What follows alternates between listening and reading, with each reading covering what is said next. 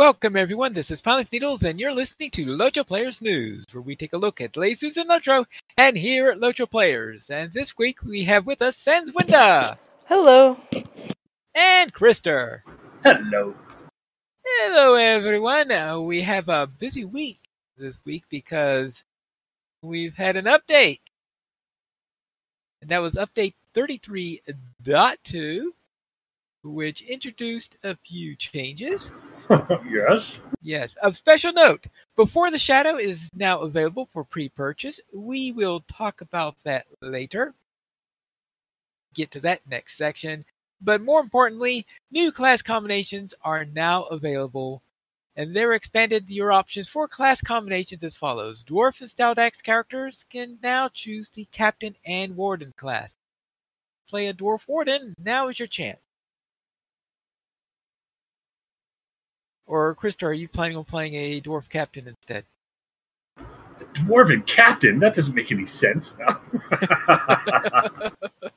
no, but I'm intrigued by the Hobbit lore master. I think that's well, funny. we'll get to that in a moment. Okay. Oh, okay. Sorry, sorry, sorry for jumping ahead there. Yes, yes, yes. All right, elf and high elf characters can now choose to be burglars. Hobbit characters now may choose to be champions or lore masters. And human characters may now choose to be rune keepers. So I heard, Krister, that you were interested in the Hobbit lore master. well, more, I was kicking myself because I felt like our, my the kin missed an opportunity to make some money, which is that we could have gotten a bunch of lore masters together, and then we could have had them scribe their books into tiny little books that then we could sell to the Hobbit lore masters for a profit. So I was kind of upset that I didn't take advantage of that, but uh, yeah, I I think well, I'm just uh, you know it's honestly there what what are what should be restricted anyways. Uh, you know, should should any race be able to play any class uh, in Lotro? Perhaps. Uh, but yeah, I, I I think the most intriguing one for me, just because I love the thought of it, is just a little Hobbit master, little a little uh, short little gu- uh, guy or girl telling everybody else what to do. Well, I'm a lore master, so I'm perfectly well. Oh, just shut up. no, but uh, yeah, out of all the class combinations, I, I have to admit the, the Hobbit lore master was the one that I'm, I'm most interested in. I guess, and I can't explain why. I guess exactly. I can't explain why. Just a certain uh, characteristic. Short, full of wisdom. Yeah, that reminds me of my grandma. Maybe that's why. It does remind me that when I logged in on Wednesday and created a Hobbit Lore Master, I arrived in Archet after doing the tutorial. I arrived in Archet and I arrived in this sea of bears. I'm guessing slightly different than the time that we were bears and then there were other bears. and Yeah. it was a sea of Beorning bears. Yeah, in this case, it was a sea of pets to Hobbit Lore Masters. ah, okay, okay. I thought it would be hysterical if you were suddenly surrounded by 100 Bjorn- Beornings and one of them was like, Would you like to contribute to the Beorning Education Fund? Uh, yeah. sure. I mean, that would have been it- funny take everything. too. It'd been funny, except for the fact that I don't, that Beornings wouldn't physically. I don't think there's a physical way for Beornings to get into that area. Oh, if anybody's going to find ta- a way, it's Beorning. Yeah, he's on talking No, he probably pre- means the intro because he does the tutorial still. Oh, duh. Where you have to Yes, fight the spiders that I always skip, and so I never think of it as part of the intro. But Actually, that would make sense. That would be awesome to have a Beorning show up there because nobody, everybody would be like, uh, what? Yeah, How did you get in? Who let you in? yes. who, who let you in? Inside there, I was finding quite a number of. I think half the people there were Hobbit lore masters. Then I saw at least one human over there. There were one or two. I actually saw a human lore master in there, which is seemed rather odd. I think what a what a time to create a human lore master since they've been around for quite a while on that one. So that's showing you that it looked like Hobbit lore masters were popular with a large number of people like. Oh, that's funny to think of too. Just these hordes, the hordes of lore masters and their pets uh, going everywhere. Yeah. For the last time, no animals in my in my bar. In fact, the the the thing about the bear is because the bear is the first pet that you get, and when I got the level three, I went to the trainer and paid the twenty five mithril for the tundra cub. See, now that feels like a much more appropriate lore master pet. Appropriate one for a hobbit. Yeah, I'm sorry for a hobbit. For a hobbit lore master, that yeah, the cub seems perfect. Yeah, perfect size for a hobbit. Because all these oh, huge bears, going all these little hobbits running all over the place. Yeah, because if the bear could uh, put, if you could put a cart on that bear, and then you could, uh, you know, sit in the cart and ride it around, that would be one thing. Nah, you can't do that. But anyway, those are the new dwarf combinations that are now possible. So let's then head into other news and notes because the minstrels, all minstrel class trees have been reset for update 33.2. If you play a minstrel, please respend your class trait points and save your preferred specs.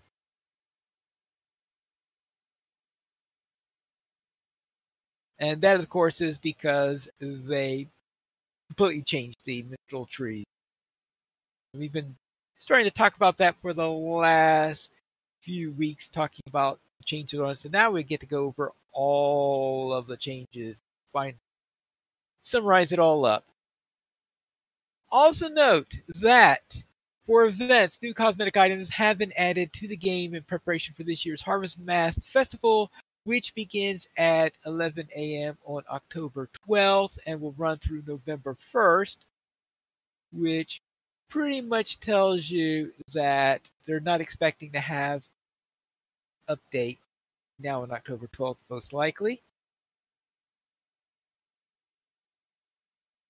So let's then head into the class changes. Incoming healing debuffs applied by players now stack with one another. Unique debuffs will not stack with themselves. This applies to all classes. And note though that some incoming healing debuffs have been reduced in potency. As for Beorning's Brutal Retribution, Brutal Retribution armor sets now list and use a four item set bonus. I am not familiar with the Beorning armor set, so I wouldn't know whether that's good or bad or whatever. Now for brawlers, brawlers will now gain the correct battle rank modifiers when entering into the Ettenmoors. Updated brawler specific loot drops for both library and school at uh, Tham Mírdain. The movement speed debuff from throw object no longer affects enemies who are immune to slows. Rats. but that's probably good. And Trail Food Boost now works with the Feast of Honorian and Superior Feast of Honorian. You know, I was just thinking that the thrown object only worked not because it was a slow necessarily, but because they were so astonished to see this object flying at them that they had to slow Is down that to a- process it. Yeah, I guess not. I guess it was an unintentional effect. Oh well. As for burglars, burglars now start the game with two daggers equipped instead of one. Yay! Mounted combat critical hits will now correctly open the critical skill chain. Fixed gambler surprise strikes not multiplying properly with gambling gambles damage, damaging gambles damage, and cunning attack bleeds should now reapply correctly even when a current bleed is about to expire.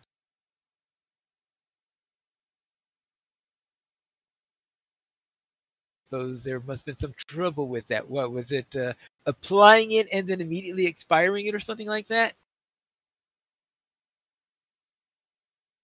Sounds like that could be it. Yes. That's it for the burglar. So let's go to the captain.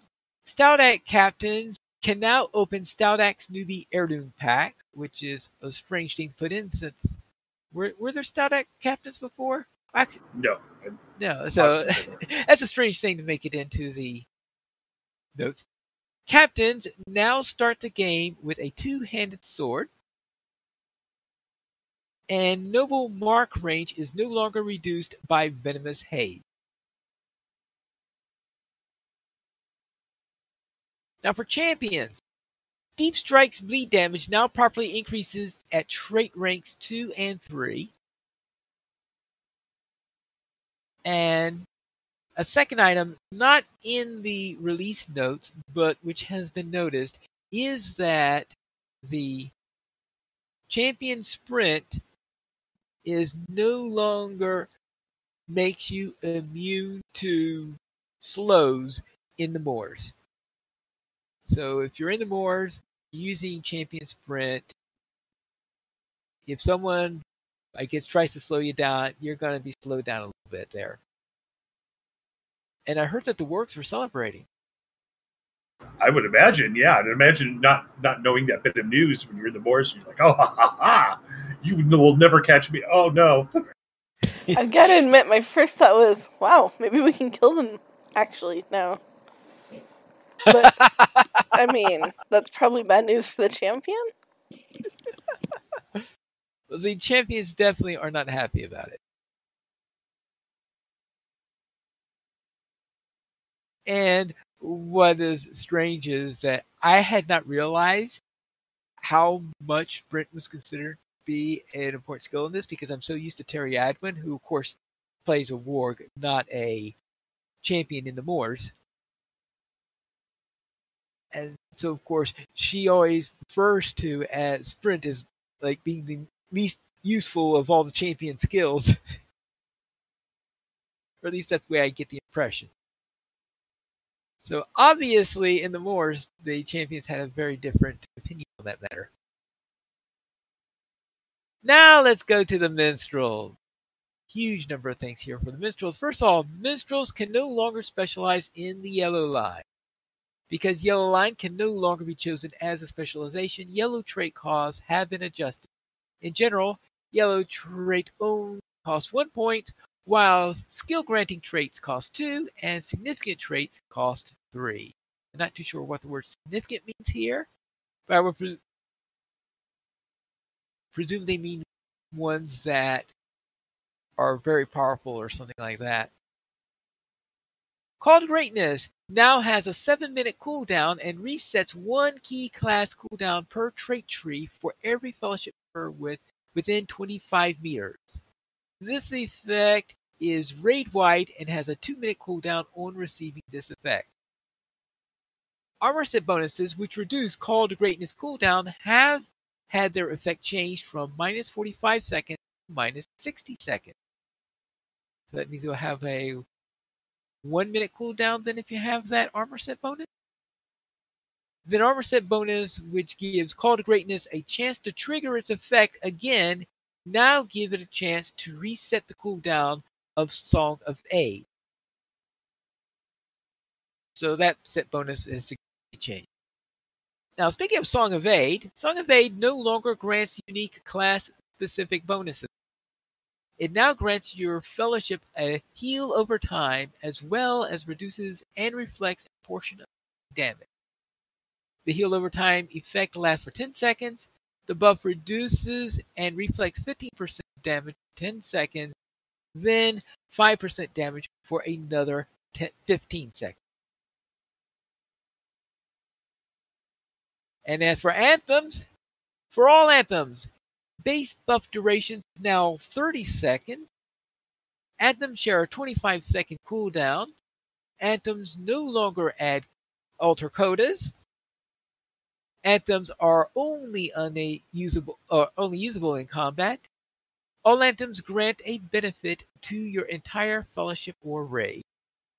The tracery anthem duration has had its effect halved. It now is plus 33 seconds max. All anthems are now fast skills. Anthem duration bonus from Anthem duration trait is had from 50 second max 5 second. All anthems except for Anthem of the Free Peoples are now categorized as lesser or greater anthems. Lesser anthems require one ballad buff to play. Greater anthems require two ballad buffs to play. Lesser and greater anthems form three pairs and are numbered accordingly.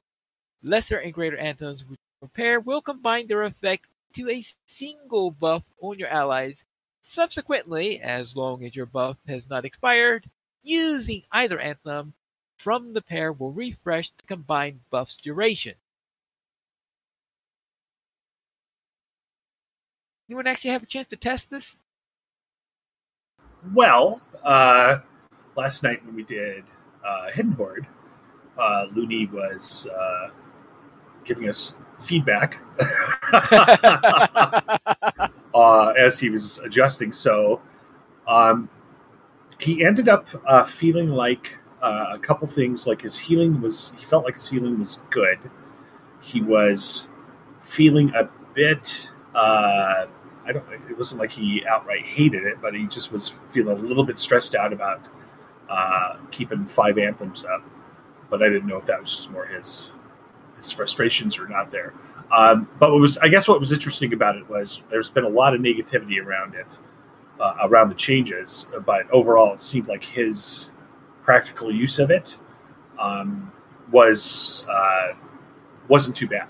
Now that being said, I'd say the biggest complaint we've heard from all of our, uh, I've I've heard from all my mini uh, friends, uh, would be why, why why did you guys do? Could you guys at least make us understand why these changes, why such a wide sweeping modification to this class had to occur at this time? You know, I think that's what's mystifying everybody. So I feel like it might be like when the trait trees were introduced, where uh, there was a lot of uh, frustration when people had to sacrifice the play style that they had developed before that. But once you got into the traits and settled down, you kind, you kind of realized system was actually pretty good, and uh, you didn't feel as bad. So we are in the first week where they're all going, yeah. Yeah. So so basically, Louis' feedback was he, he he complained right at the beginning about a couple things being different that he couldn't do any, any longer. Um, I think the anthems out of combat was one of the things, but I don't I don't know if that's a major thing or you know a, a minor situation ultimately. Um, but overall, I'd say his experience wasn't wasn't negative with the changes. And in terms of healing us, because we were in a T two, and he actually did need to do his job, uh, the healing itself was just perfectly fine this year. So, um, so he was uh, definitely capable of continuing to do the job that we needed him to do. Um, and his complaining was, yeah, you know, it, was, wasn't as uh, you know he wasn't frothing at the mouth saying I'm going to rage quit and delete all my tunes. So he was uh, less than that. all right. Let's then look at Anthem of the Third Age. Dissonance now gives plus 20% cry and call damage to yourself and plus 5% light, fire, lightning, and frost damage to your group. Anthem of the wow. Third Age. What? Uh, so that might be. Is that like a? Uh, what, what uh, would they have to trade to get that? Or is that just a change to? Because that's a pretty nasty skill if you think about it. No, well, dissonance. I think that's one of the Anthem Anthem's third age. It sounds like it would be a basic anthem when you're in okay angry hand. Yeah, but you have to be in angry hands, not healing anyone but yourself. Gotcha. Okay. Okay. Yeah, because that could be. I mean that that damage bonus. Uh, you know, if it if it's stacked with other bonus sources, you know, it could be a devastating uh, addition. Is now it now saying it's just because I don't play a mini. Uh, going from happy hands to angry hands and back is that a big? Is that a big pain? Is it like the because the arcade is, has tools that they can kind of go back and forth. Okay, uh, so before this patch, it was a big pain and it would freeze your whole screen for a bit. with this patch, hopefully they fixed it so that you can swap back and forth as fast as the Runekeeper. I have not tested it yet. Okay. Okay. Wow. But you have to remember, though, is that if your trait tree is very, very strongly set for angry hands, going into happy hands, not going to be optim- optimally in happy hands, but you'll at least be able to get something. Well, Well- maybe you can balance that a lot better with with yellow line effectively being a non-specialist. And you might be able to like treat far enough into the red line to get the Anthem of the Third Age Dissonance. Um but still get most of your healing skills. I don't know how far down it is or anything yet though, because I've patched since the last patch, but that's as far as I've gotten. Right. And I've been too busy playing Lore Masters in the last few days that I haven't had a chance to play play minstrel yet. Now, if you are Anthem of the Third Age happy happy hands instead of angry hands, now gives a less potent reduction modifier, but gives plus five percent outgoing healing and a minus five percent induction duration to your group. Anthem of Composure now grants less tactical mitigation, but gives 3% shadow, acid, and fire mitigation. Anthem of Compassion is new and returning. One minus 1 to 4% incoming damage, formerly on Inspire Fellows, and 3% lightning and frost mitigation.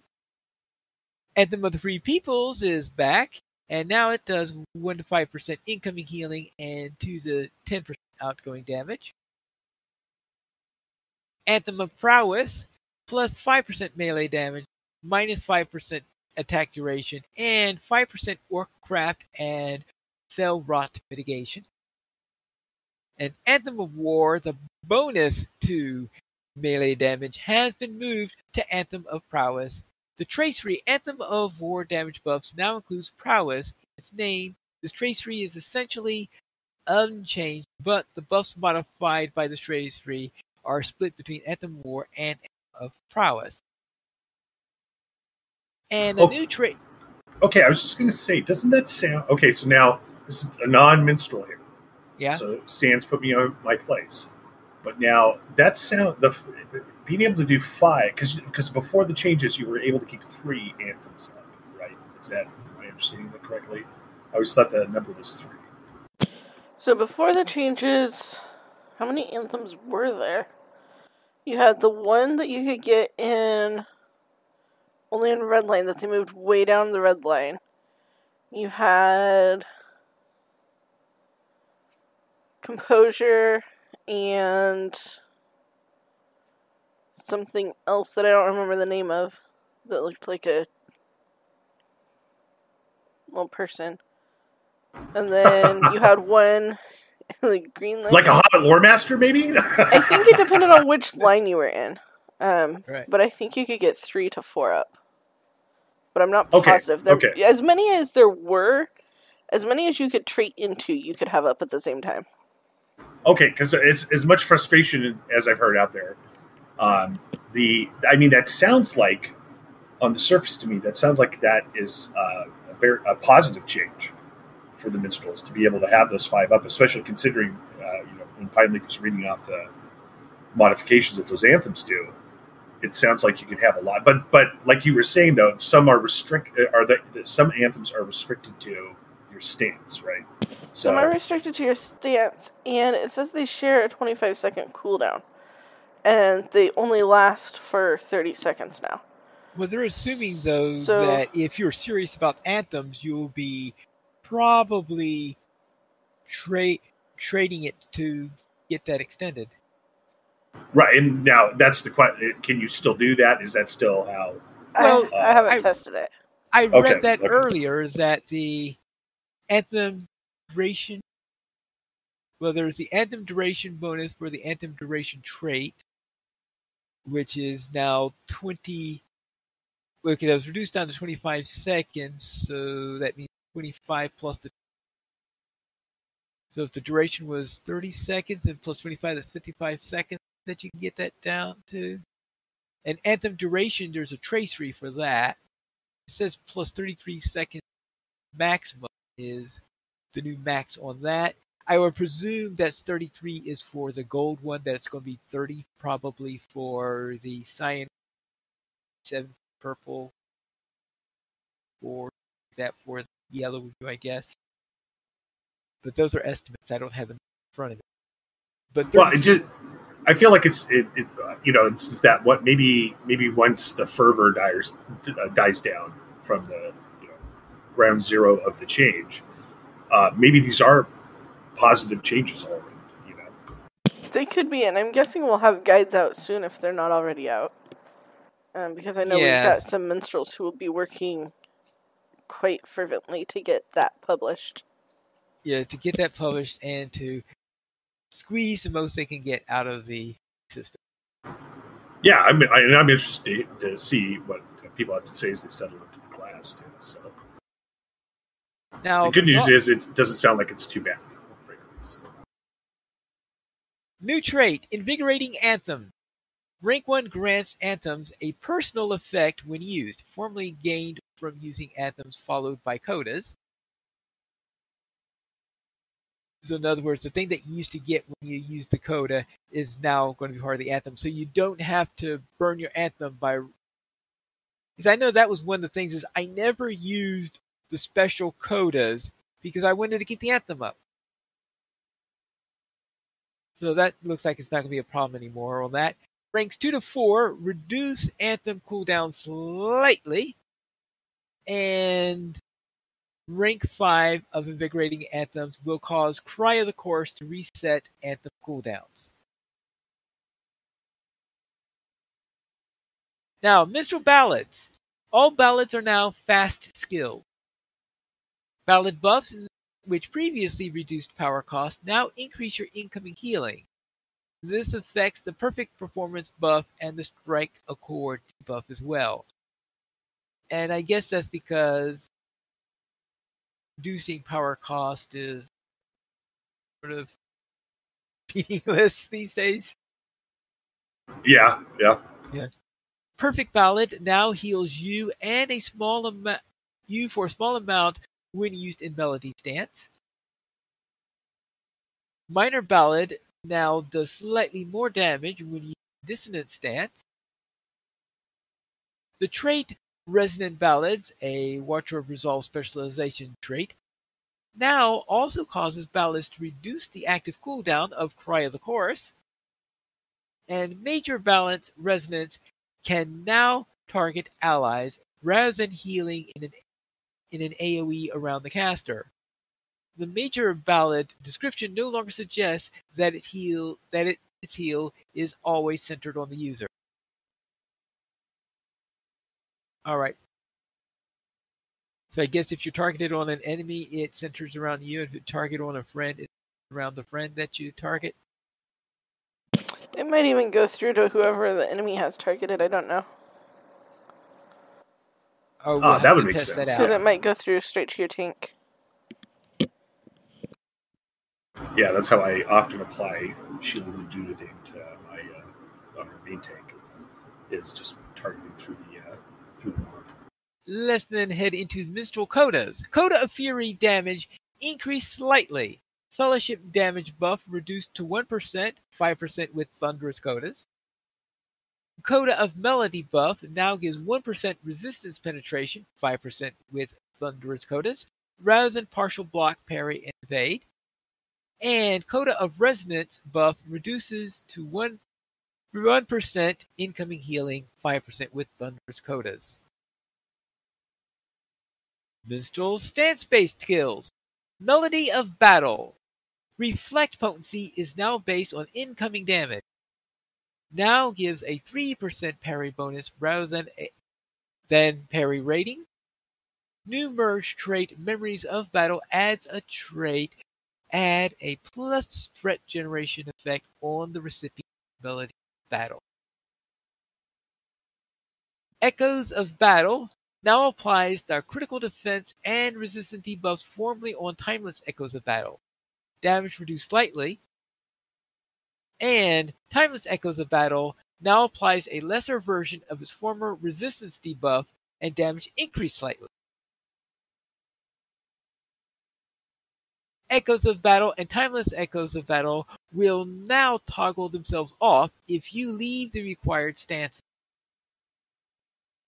Man, this sounds like they don't want you to change stances, but like you have to change stances. I'm confused. well, Call of Orome. Now available in Melody stance with reduced damage. Debuff duration increased when used in Melody. Reduced debuff potency when used in Dissonance.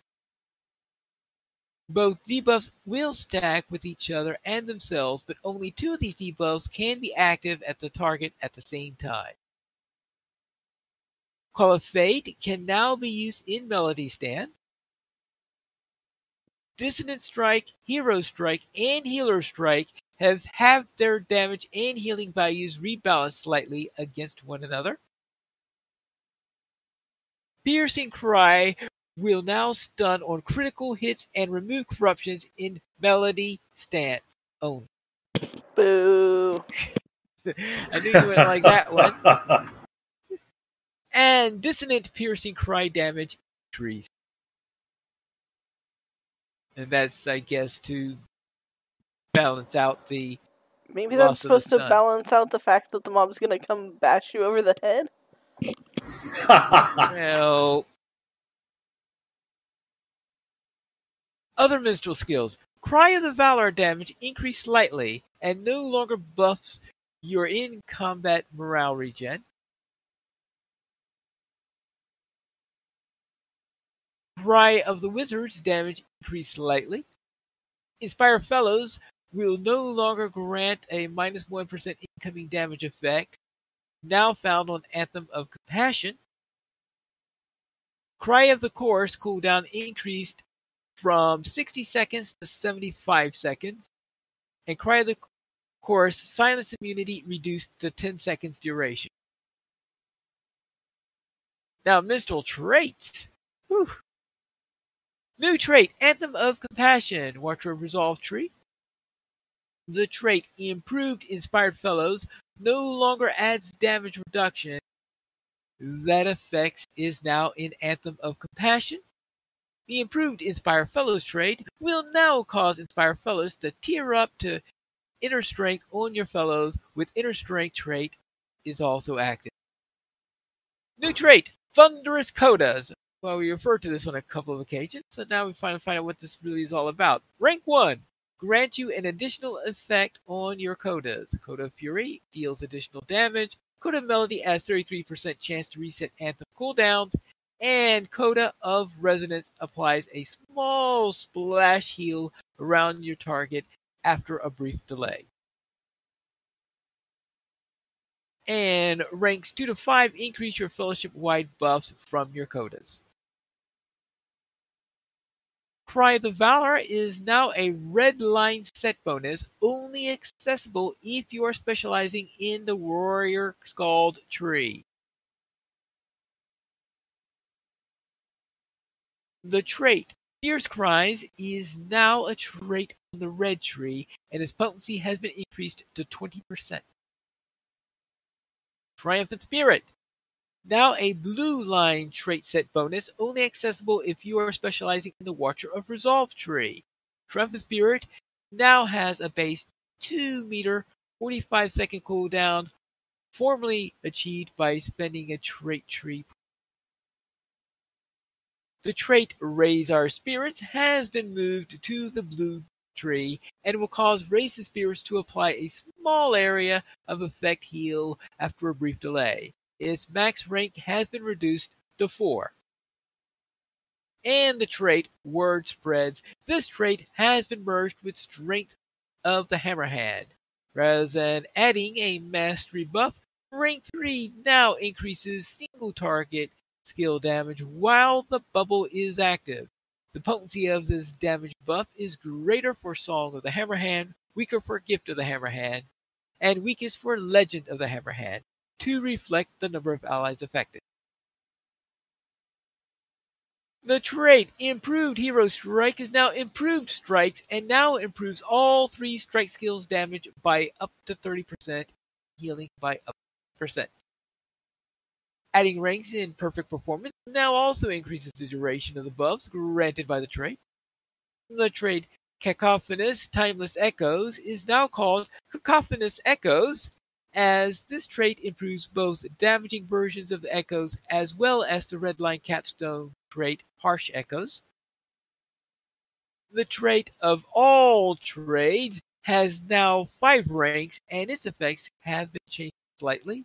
Its max bonus is now plus 10% outgoing healing and plus 15% damage. Increase the potency and debuffs of the trait Strike Accord. The trait Sharing a Story has been split into two separate traits. Songs of Woe, increasing the ballad critical chance by 1 to 15 1 to 5%, and sharing a story causes ballad criticals to reset all versions of Piercing Cry. Tale of Tales. The Tale of Tales trait no longer grants you a passive buff aura.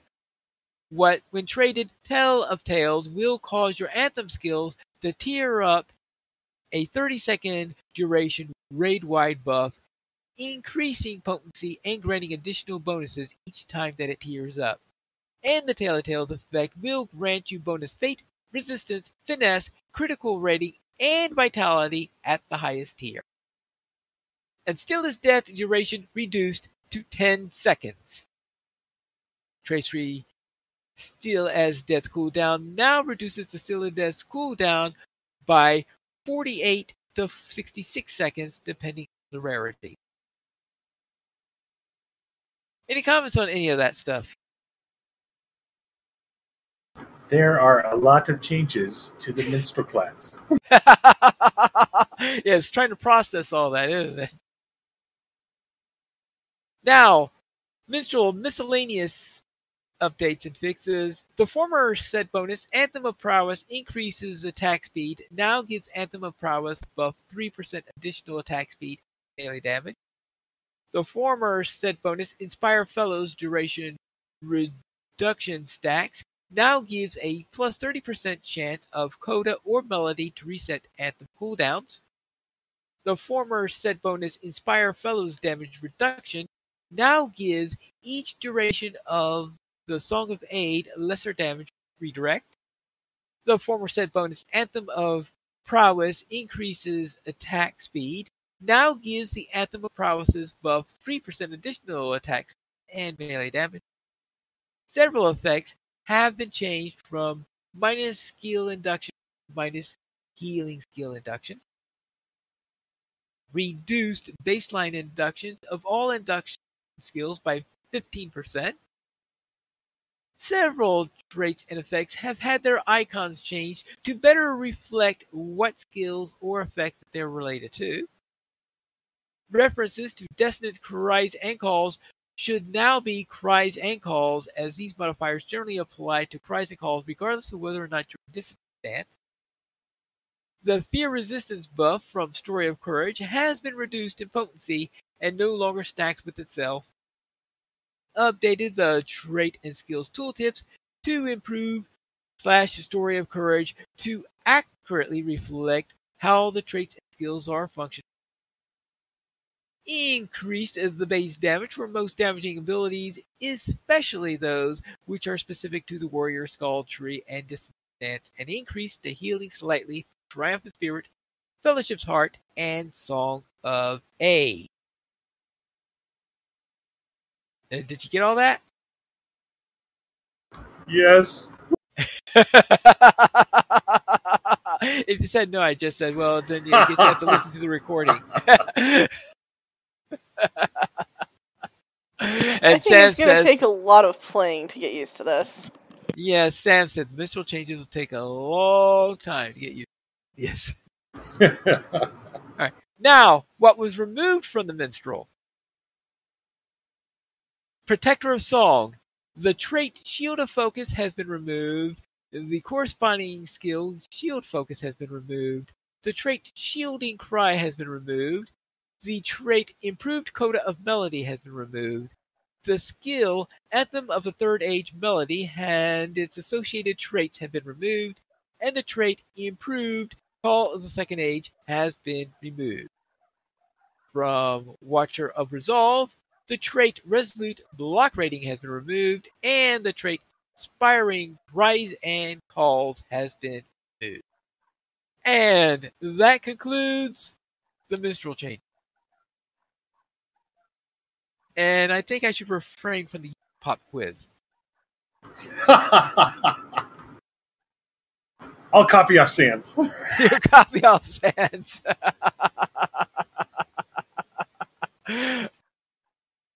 oh, apparently Sam had the same idea about a pop quiz. All right. Yes. As for wardens, Stout Axe wardens can now open the Stout Axe newbie heirloom pack. And wardens now start the game with a javelin whip. Fancy. All right. So let's go into quests, instances, and adventure areas. Intro Strider's Charge now gives a robe as a light armor reward option. And I'll just tell you, what do you care about this? Because I I think that cosmetic looks better than the starting robe that you get when you start as a minstrel. So as soon as I got that, that became my robe that I'm wearing. Now, it isn't a new cosmetic like this, so it's possible I might have something like that already in my wardrobe, but since I didn't have access to my wardrobe at the time I was in pre Archet, that was a perfect thing for me to go into and to use for my for my minstrel. I mean my my lore masters. I guess your minstrels could also use and foes in the Gundabad battle at the lofts or battle of at the forges will no longer erroneously award XP, item XP, currency, or loot. Defeating public instance monsters that continuously respawn is not intended to advance characters. However, these particular enemies were not set up correctly until now. The various Gundabad battle quests will continue to award item XP and other rewards. Now note that this is Right. Yeah. So therefore, the good news is you won't be clogging up your bags, I guess, with the stuff from them.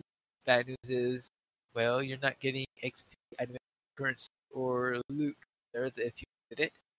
So you're not going to. They don't want people to use it to farm for. Apparently, people are using it as a farm area because there's some foes in there that very, very quickly respawn, and they were constantly spending all their time in the forges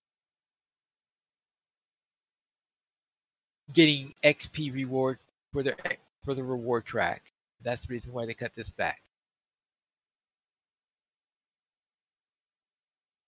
And speaking of items and rewards, having discovered an error in the legendary item XP required for the legendary item rewards track across various levels, we have made adjustments to the curve. Changes will speed up progress through the legendary item reward track for characters of most levels. For levels 45 through 60 and 95 through 120, the legendary item XP required to advance the track has been reduced.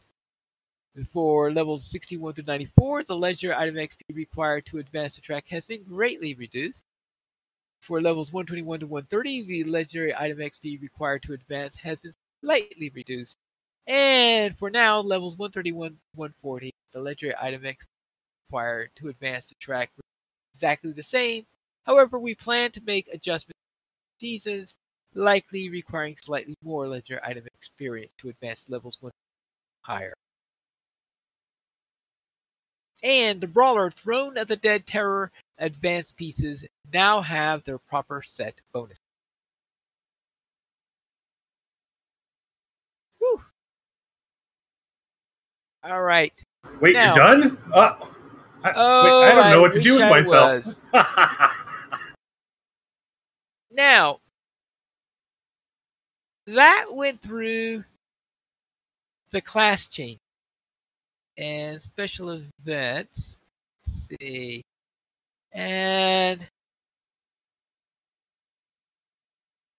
we have another area just as long for PvMP. Oh boy, here we go. Okay, I'm ready. yeah, Got my we're- caffeine. all right. And unfortunately, I promised that I was going to read this all out when the actual update was made today. You did, and I was just wondering how you were going to handle that, Pine. I remember Well- Shane said it was a terrible mistake. Terrible mistake. You know, I don't recall saying that, actually. I recall being glad that we were skipping it that day. All right, let's see how fast I can say this. General monster play changes. First off, for general orc changes, Dying Rage has become Undying Rage. Undying Rage cooldown is 8 minutes and requires the orc to be under 50% health. On activation, it applies a corruption effect that makes the orc immune to death, increasing damage, reduces incoming damage, and on expiration deals 50% of the orc's max morale as damage. So in So it words, still sounds like it's going to kill the orc. it's going I- to kill the orc I'm at the end. Not entirely sure why they changed the name, but that's funny. it. oh, so it's something that always killed the orc in the past, also. Uh, you know, I'm not positive because I didn't play many orcs, but I'm guessing so if it said it was Dying Rage. You Because I'm guessing there. it deals 50% of the orc's max morale is damage to the orc, not to the enemies around it. Or maybe right. it's to everyone. But it doesn't say. Yeah, it doesn't say to whom. Additionally, an additive effect provides a 2% heal boost on all skill plays while under the effect of Undying Rage. And if the corruption is removed before the effect expires, the orc does not suffer the 50% damage. I guess that answers our question on that. And has the cooldown for Undying Rage reduced to 300 by 300 seconds. So I was right, it does hurt the orc. Yeah. The orc loses So- 50% of its damage. Uh, but it is interesting 50% then is that the players have this choice. Do you suffer what this orc is doing to you and watch it die afterwards? Or do you remove the corruption so you don't suffer what it's doing to you, but then the orc is going to live? You know, that's a great question. and if the Yeah. freaks are just like randomly removing corruptions because they can, they might save a lot of orc lives. Outpost changes. For each outpost that monsters players control, they receive a 20% bonus to glory, infamy, and commendation earned, and 44,900 finesse. For each outpost that free players control, they receive a 20% bonus to glory, infamy. There are no other bonuses for controlling location. Tower changes. For each tower or camp locale that monster players and free players control, they receive a 25% bonus in glory, infamy, and commendation earning, and there are no other bonuses applied for controlling those locations. Toll uh. Controlling Tol Ascarnen grants the controlling faction a 50% bonus to glory, infamy, and combination earns, and there are no other bonuses applied for controlling Toll uh, Skarnen. Here a pattern here. And as for artifact changes, when monster players control their artifact, they receive a plus 5% to all defenses, plus 5% to all damage, plus 50% increase to glory, infamy, and commendation earned, increased finesse by 180,000 and a 2% reduction power cost. Whee! It's a powerful artifact. When free players control their artifact, they receive a 2% to all their defenses, a plus 50% increase to glory and combination earns, and a 2% reduction in power costs. We have updated the appearance of the new spider appearance available in the Lotro store. The appearance Sands. There's The- something I have not looked The up yet that I don't appearance. plan to. the appearance is now the Gamnagal spider appearance. The white hand warg skin in the Ettenmoors was errantly changed. We have put the correct skin back on the trait. Maps to Gramsfoot and now have a 60 second cooldown. This is to alleviate the issue with the map being moved from the initial questee. Yay! Tinctures of Audacity have, have been removed from the game as they were artificially inflating the cost of Audacity while active on my players. If you use one of them, then attempt to train the Audacity trait, you are paying a cost five levels higher. That's audacious. Right. So, yes, do not, in other words, don't use these things. At least not if you're going to also buy Audacity. Yeah. Right. A misnamed trait was passing false information on the trait that was granted to a monster player when purchasing a tier 3 item. This was only a text error, and the correct trait was being bestowed. We had now have corrected the text. And Zagfra, the Warg Corruptor at Gramsfoot, it has now been grounded. Oh. That's kind of funny. Poor Zagfra. Now, uh, let's go to the class changes within the Monster Play. Update brings the Monster Player's baseline stats to 480 equivalent. Adds the following to each class. All classes get a plus 25% base health. Reaver gets plus 5% melee damage. Defiler gets plus 5% melee damage and plus 5% base magic damage. Black Arrow gets plus 5% base melee damage and range damage. Coordinator gets plus 10% base melee damage and plus 10% tactical damage. Stalker gets plus 5% base melee damage and plus 15% to base tactical damage. And Weavers get plus 5% to base melee damage. Now for the specific classes. Let's start with the Reaver.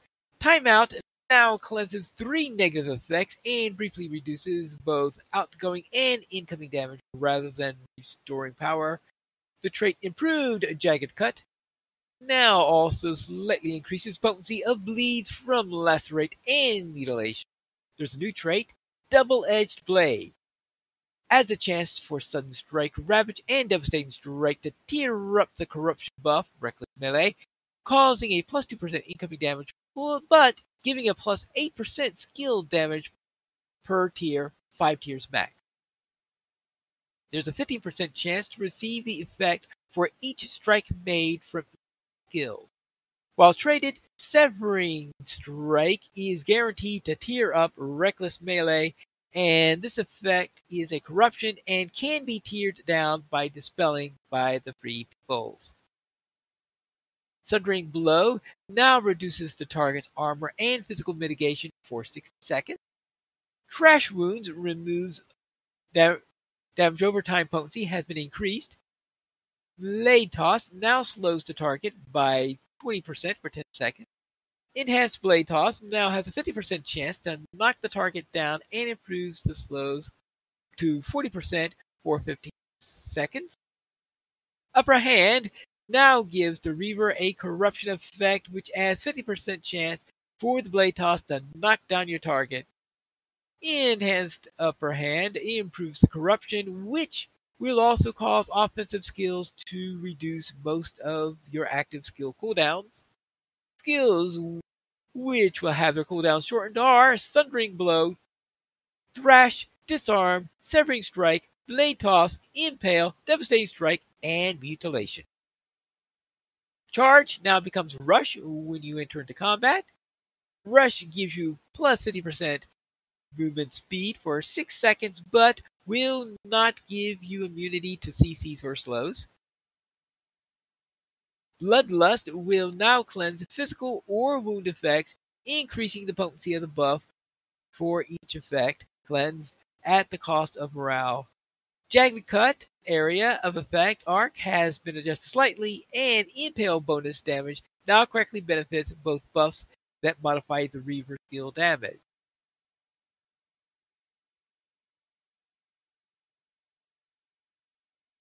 Oh, oh, okay, there it is. All right, the Orc Defiler, new stance, Curse Shouter. Yes, an entire new stance. Fun. Did they have stances before? I don't think so. I think you just Okay, picked which skills to toss. All right. Anyway, new stance called Curse Shouter reduces outgoing healing and increased outgoing damage, reduces induction of gourd and curse skills, disables efflorescence, alters fungal bloom. Spell restoration becomes Doom of the North. Doom of the North deals frost damage and applies fear that counts down for five seconds before dealing significant frost damage. Fungal spores become stinging spores. Stinging. Stinging spores deals a small amount of acid damage as well as acid damage over time and stacks three times on the target. Leaving Orc Curse Shouter stance applies a trailing debuff which reduces healing by 100% for 15 seconds. And you may only enter Curse Shouter stance while out of combat. So this seems like a, a Defiler's version of Angry Hands.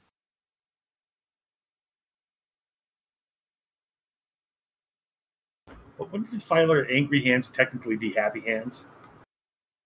Uh,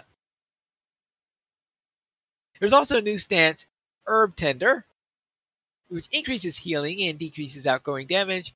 Healing skills gain the ability to tear up the invigorating corruption effect on allies, increasing damage, reducing attack speed, and increasing in damage.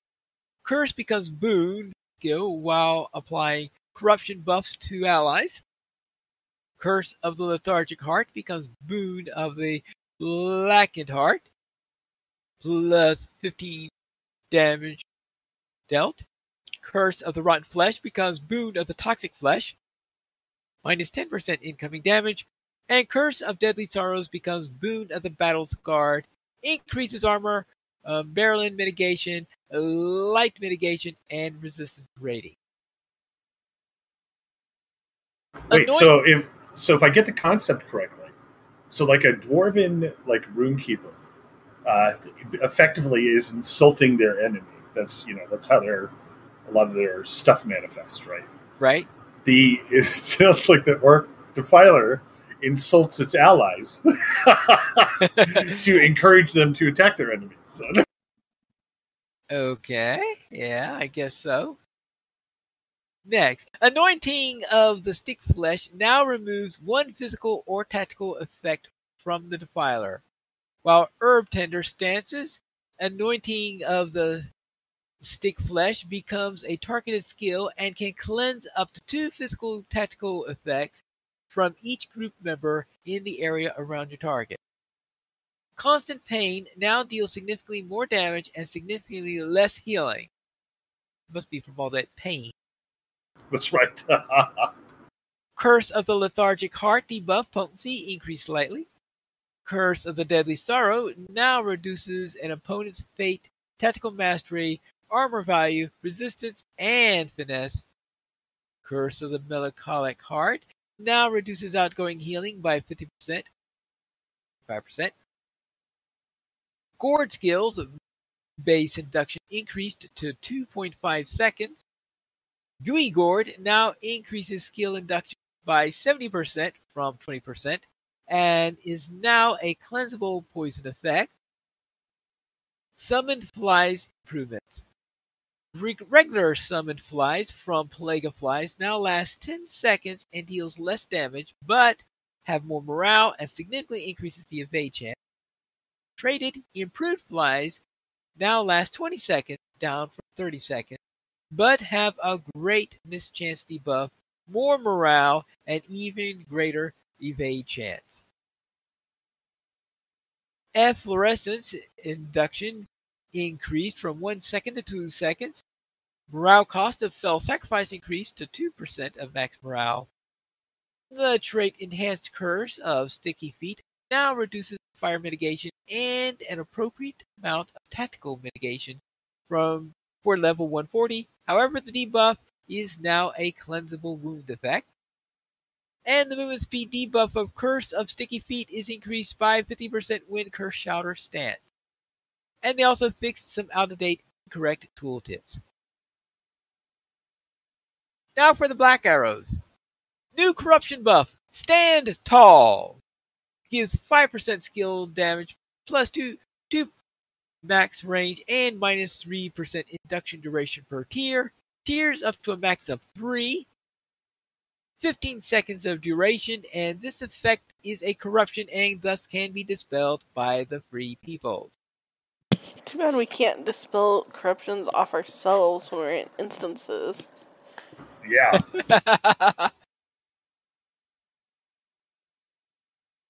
Center is once again a channeled skill. Tiers up stand tall every second while channeling, and now restores morale every second rather than attempting to drain your own power. Improved vital target will now add one tier to stand tall. Vital target now deals slightly less damage. Uh, yeah. Strong pull now deals more damage, tiers up stand tall, and has a 12 second cooldown outside of skirmish. Steadfast barrage increases target to 40 meters and deals more damage per tick and channels for 6 seconds. Down now. He improves Steadfast Barrage, gives a chance to crit and increases damage per tick, and channels for 8 seconds. Cooldown now 20 seconds. Tangle Shot now applies a minus 30% incoming healing debuff. Tangle Shot now has a 20 second cooldown. Damage from snare and fire trap is reduced. Damage increased slightly for cut, gash, hindering shot, death blossom, revenge, screaming shafts, in your face, and tangle shot. Explosive arrow now correctly deals AoE damage after a countdown. Explosive arrow countdown now lasts 2 seconds and is a wound effect. Cleansing the wound will prevent an AoE damage, but will still deal full damage on the initial target. An explosive arrow AoE damage increased to 7 meter radius. Now the War Leader. Command Post now increased all masteries by 25%. Banner of Terror now includes a level of dread when it is summoned. The debuff for Banner of Terror now reduces physical mastery rather than tactical mastery. Banner of Horror now also includes three levels of dread when summoned. The debuff of the Banner of Horror now reduces tactical and physical mastery ratings. Menacing Roar range increased to 20 meters and total targets increased to 6. The debuff from Menacing Roar now only stacks up to 3 times on the target and it also reduces fear resistance by 5%. Black speech damage increased. You mean their language is so horrific that it does damage? Yep. well, you know, certain advanced civilizations within our own galaxy consider uh, human speech infectious an infectious disease. So, Oh. Yes, I have a feeling that there are some countries that say the same thing about English. Cleave damage increased slightly and is now a small area of effect, dealing damage up to three targets. Fracture damage increased considerably. The trait Damage Boost trait now grants 25% damage rather than 3%. The trait Empowering now has a tactical mastery value appropriate for level 140, and its in combat power regen has been changed to resistance rating. Purge no longer breaks allies out of stealth. I'm sure their allies are happy about that, especially oh, thanks, John. When traded, Purge now grants 6 seconds of immunity to crowd control. When Power of Fear is traded, Fracture now grants you the no induction buff, regardless of whether it hits your enemy. The trait Harsh Language now also reduces healing inductions by 15%. And Brawler Stance now correctly reduces healing for all healing skills. Now, the spider.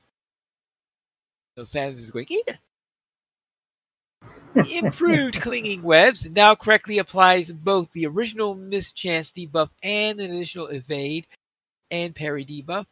Venomous Haze now has a max range of 40 meters and uses player's skill range by 15 meters. Venomous Haze now has a max range of 40 and reduces player range skills. Reduces skills by 50. Okay. Lethal Kiss now deals slightly more damage at the onset and deals significantly significant damage after 10 seconds. Cooldown has been increased 10 seconds. The Lethal Kiss latent damage effect can stack up to three times on a target at once and is able to critically hit. Necrosis now reduces resistance rating of its targets by 120k. The trait Steel Weave Webs now increases the grace period of your roots to 10, 3 seconds. In Venom, base damage increased. Shelob's Gift uh, reduces from a full heal to about a one third heal. Shelob's Gift heal potency reduced. Shelob's Gift now gives 5 Venom and increases DOT damage for 15 seconds. Shelob's Gift's cooldown increased to 30 seconds. And Shelob's Gift DOT damage buff increased from 20% to 50%. In other words, it does less dealing but more damage. Yeah, and it's also considered somehow a gift. We're talking about Shelob here. yeah. Okay. yeah, I know, I know, Sam. You thought we were supposed to be fighting. That is Feast now restores morale on a defeat event instead of power. Poison spray can now be used against NPCs. As for hatchlings, base hatchling health increased by 15%, mitigations increased by 20%.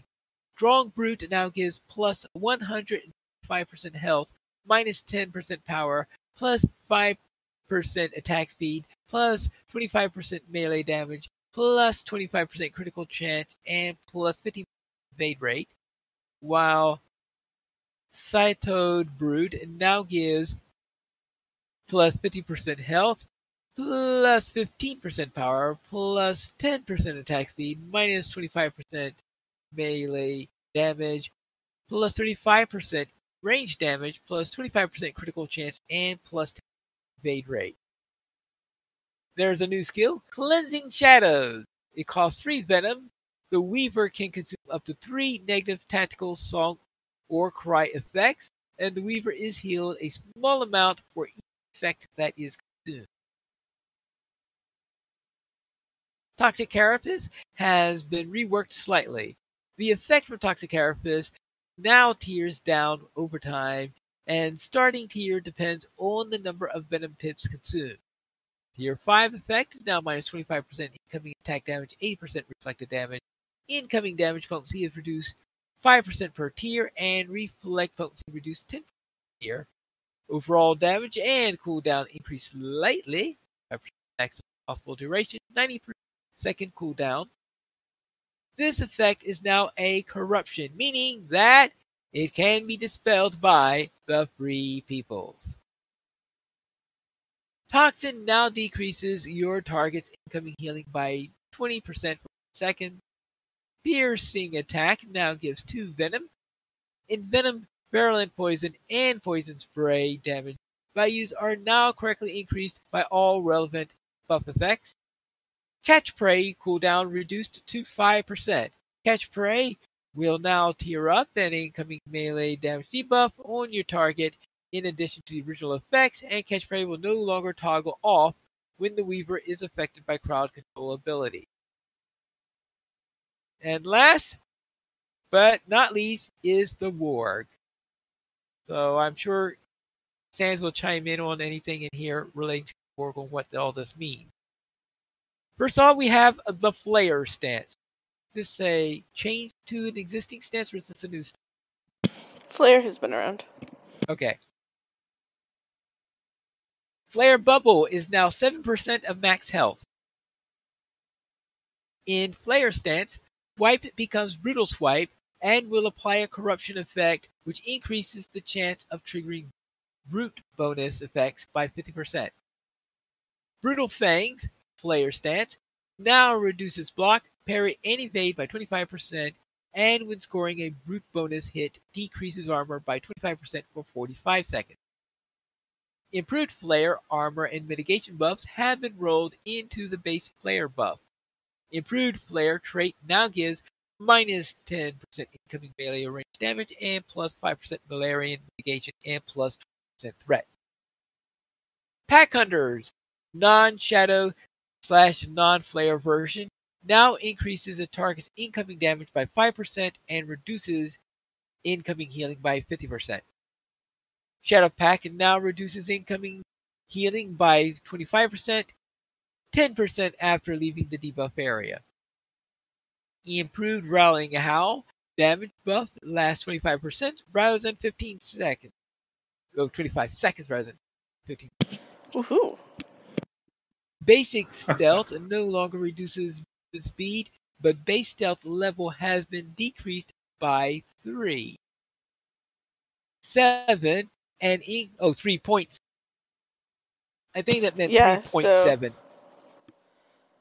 Um, like instead of having super good stealth immediately, you've got uh, a little bit less good stealth, but you're not going to be so slow that it's useless. All right. And it increases critical chance of attacks from stealth by 10%. Reduced bestial claws damage slightly. Increased scratch and snip damage slightly. Added minor damage to the initial skill hits of crippling bite and all versions of Savage Fangs. Flea Bitten now applies an initial interrupt and can be pulse and then a pulsing interrupt on the target that lasts for seconds, pulsing every five seconds. Howl of Unnerving now has a 50% to debuff mitigations by 20% on up to four targets. Pounce slash sudden pounce now applies a corruption to the warg, which increases the damage on all attacks made to your jaws by 150 for 24 seconds. In Shadow, Feral Scratch and Snip now applies two buffs Taste of Blood and Scent of Blood. Both effects last for 3 seconds. Scent of Blood gives you 100% critical chance on your next claws based attack, and Taste of Blood gives you 100% critical chance on your next jaw based attack. And the Howl of the Unnerving BPE debuff now only stacks two times on a single target. And that is it for the PVMP changes. Hooray! no more promises to read the whole thing.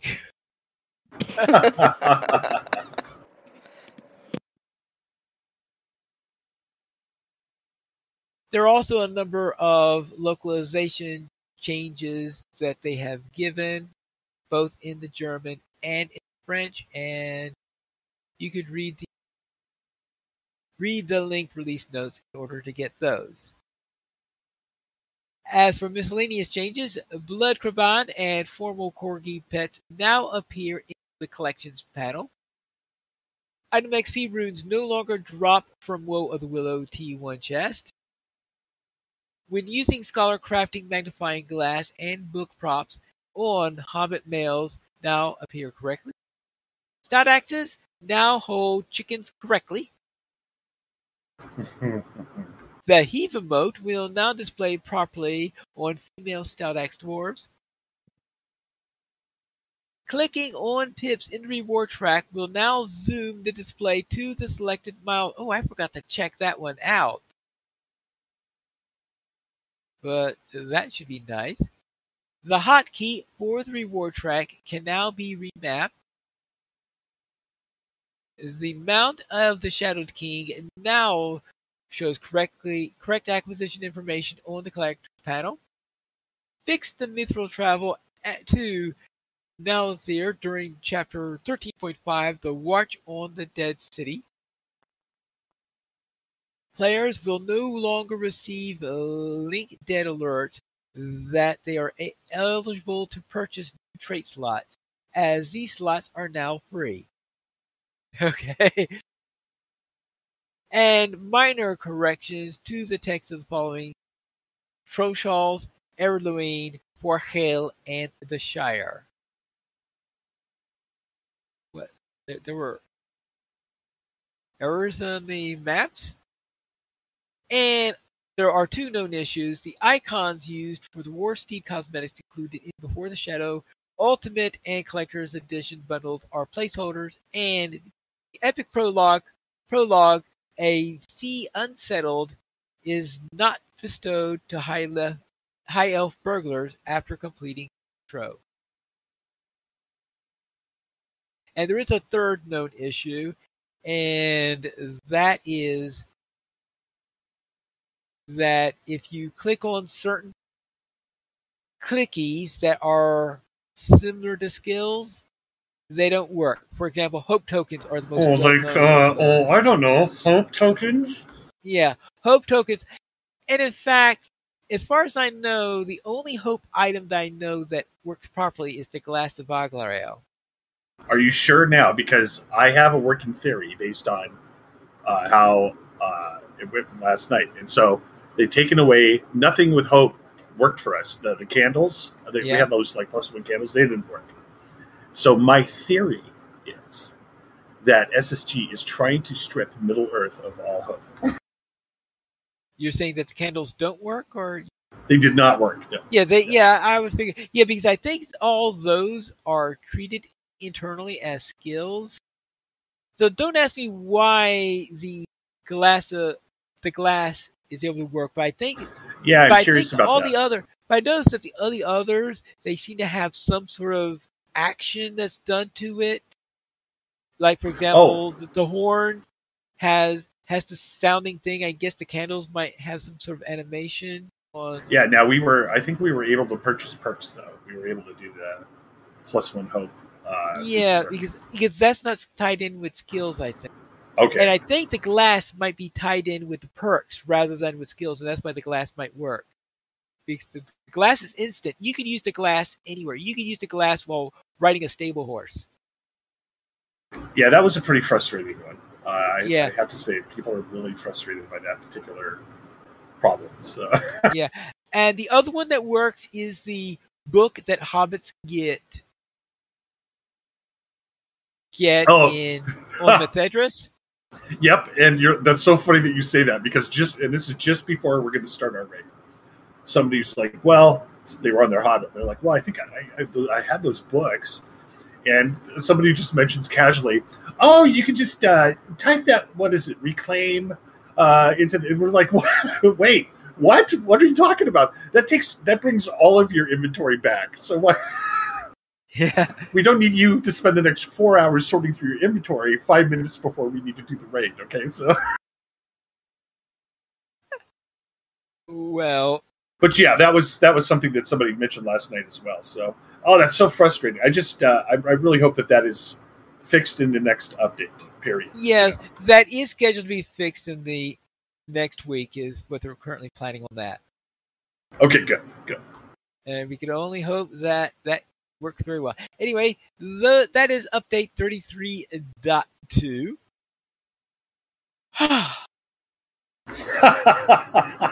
you Now- did it. You got yes, we're through that. Now comes the next bit, and that's only the first bit of news. through it. because they also, as we mentioned way at the beginning of this, that you can now pre-purchase before the Shadow, the new mini expansion that is that is to be released on I believe November the 9th. Yeah, available November the 9th, 2022.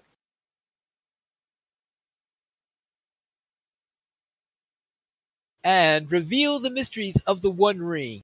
Embark on a perilous journey tracking down a band of brutal Uruk warriors wreaking havoc on the ple- pleasant land of Swan.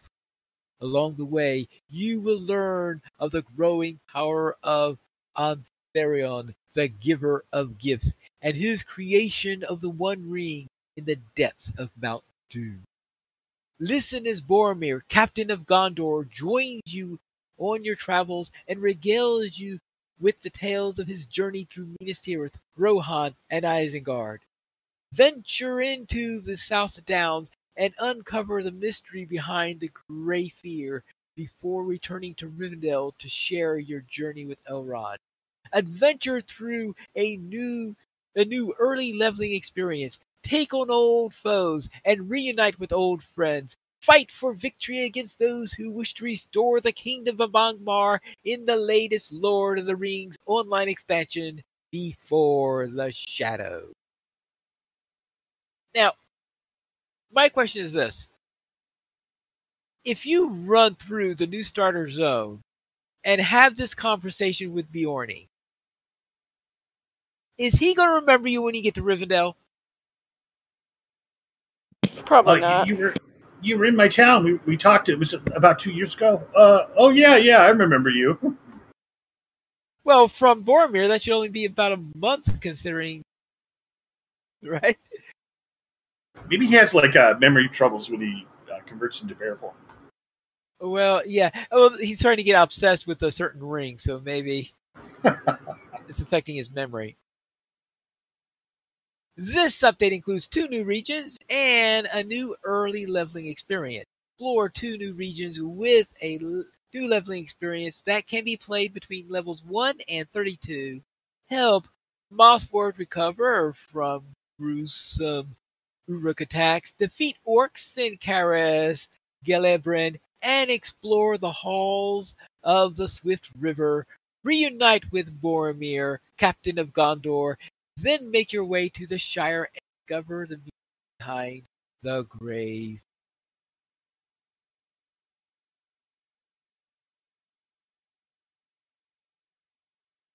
And also, a new skirmish and six player instance. Face Sauron and Rogmul, and a new skirmish playable at any level between 20 and 1. I hope they don't mean you actually face Sauron in the skirmish. Okay, I could understand maybe facing Rogmul in the skirmish, but I guess Sauron's hordes more likely than Sauron himself. Yes. Battle the Grey Fear in a new six-player instance that can be played at any level between 20 and 140. And what I hear though is that the six-player instance, as usual for six-player instances, will be released in the update following the release of 34, like 34.1 or 2 usually where, where I'll expect that to be. The new delving system. Test your skills with the new delving system. Higher level characters can increase the difficulty of new missions included in the Before the Shadow expansion to unlock additional difficulty tiers and earn reward. Now, I don't know whether at what level you have to be in order to start to unlock that. I guess we'll learn that later. and new themed missions wrapper. Earn rewards for completing daily and weekly rotating missions.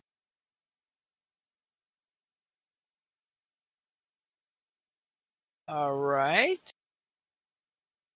I guess we'll have to see what this because I know that the existing wrapper is to complete such and such number of missions that they're pretty much random, but not randomly since they are divided in days. Have a daily cycle. That so maybe they're trying to more thematically group the missions together.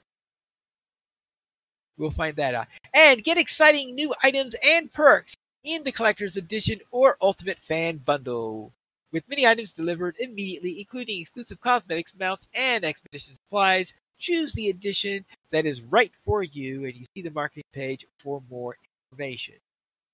And that is The Lord of the Rings Before the Shadow. And as usual, there are three editions. You have the standard edition, which includes content and what everybody wants elf dance vote.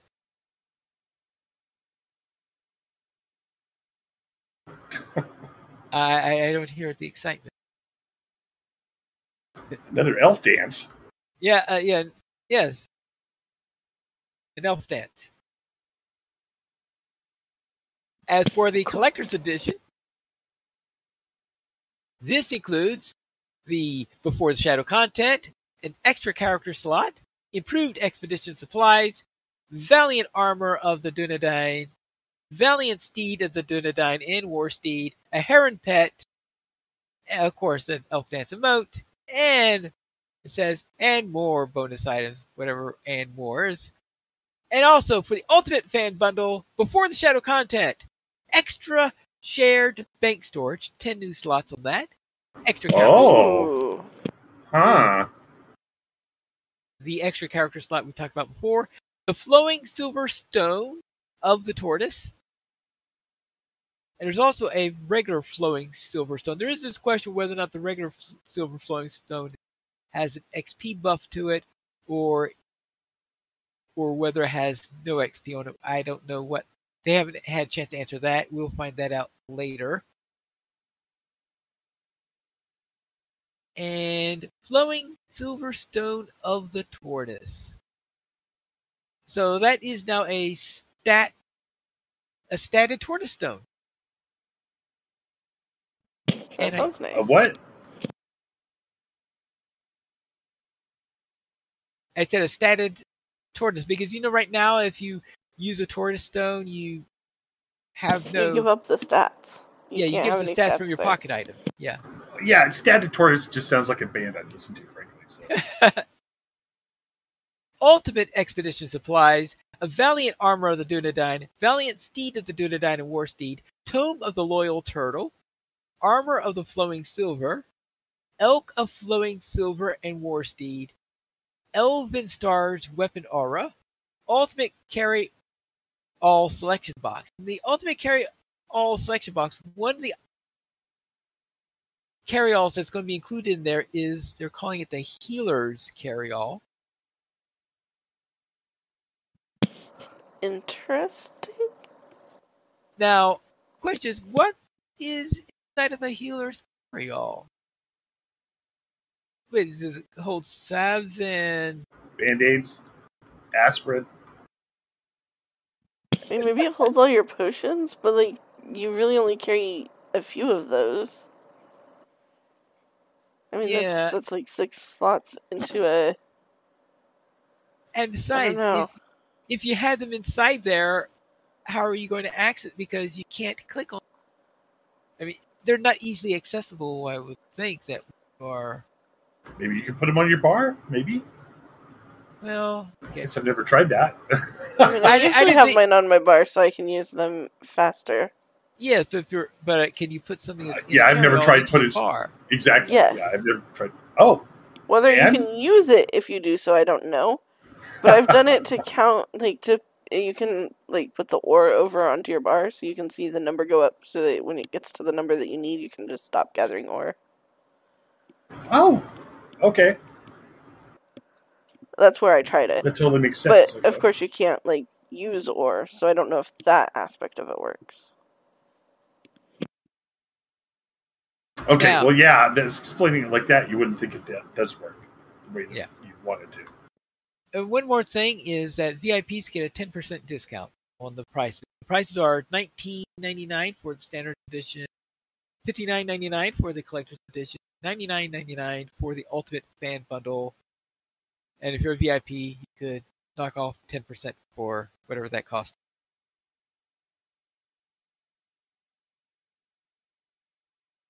And they also have a comparison chart. So let's go over this. Before the shadow content, of course, it's going to be in all of them. Additional character slot for the collectors and ultimate. 10 additional slots for shared storage. That's Ultimate.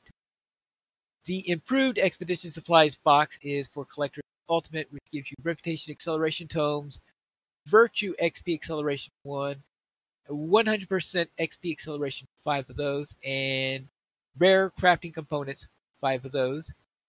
Ultimate Expedition Supplies box, Ultimate, based on that name, 15k Virtue XP, Virtue XP Acceleration times 4, Ultimate Carry All Selection box, which is where you could get that thing, and Scaled Flowing Silver Stone of the Tortoise, and the Scaled Flowing Silver Stone, the tortoise version, the non tortoise version. Now, note, of course, is that the boxes will go to the first character you log into after you make the purchase.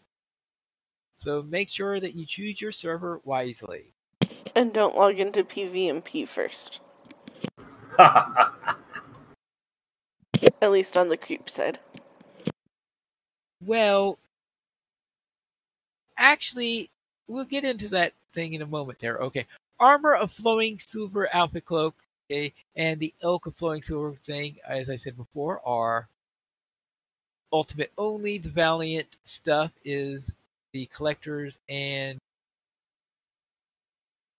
and ultimate fan thing. There is, of course, as usual, a housing teleport item.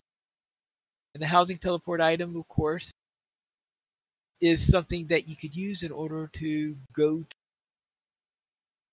some air location for the shadow. And I think they called it a it's sort of an alcove, it looks like, from what but description. You get a title for the ultimate. You get a title before the shadow. If you are from the collectors or ultimate, you get the title from the first page. If you have the ultimate or the collectors, you get a cosmetic pet heron. Ultimate gives you the Tome of the Loyal Turtle. Now, the reason why I was saying about monster about PvMP in there is that there is an item is that the first time you log into a monster character after you make a purchase, you will be delivered monster skins to your account, new monster skins. I have no idea what the monster skins looks like, but I guess Sounds pretty cool. I was going to ask, are those pork rind, like pork rinds, or and So maybe the- it's delicious instead of cool looking. I guess Yeah. you'll have to log in and see, Krister. We'll have to see. But yeah, but first you'll have to buy it yet. And Elven Star's cosmetic weapon aura is owned for the ultimate. They also have a dressage emote for if you for the ones who have the ultimate, and everyone purchase gets the emote. And that is what is being prepared for the pre-purchase of Before the Shadow. Because right now it's before Before the Shadow, right? Yes. Yeah. So we can expect we're thinking that the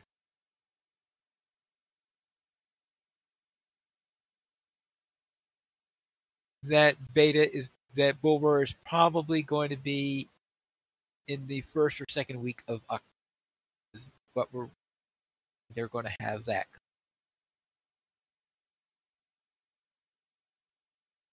That covers everything. So let's then head on to the FAQ. Yes, they also have an FAQ in here. First, can you purchase it with Lotro points? And the answer to that, of course, is it will be available for 1995 points starting in March 2023. And of course, that will only be the base edition, which includes the new regions, missions, And how do you add the expansion to your existing Lotro account? After your purchase, your account will automatically be updated based on the purchase. And then they give a list of all the items that you get when you go through here.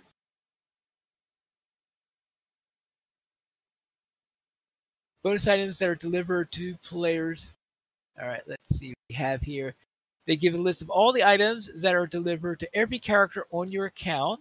That includes the teleport item, the titles, the Valiant Armor of the Dunedain, Valiant Steed, the Friendly Heron cosmetic, but so cosmetic pets, the Elf Dance of Old Traditions emote, the Armor of Flowing Silver, the Elf of Flowing Silver, the Weapon Aura of Elven Blessings, Mount Dressage, Loyal Turtle, Elven Stars, and for PvP monster play characters only, monster play appearance.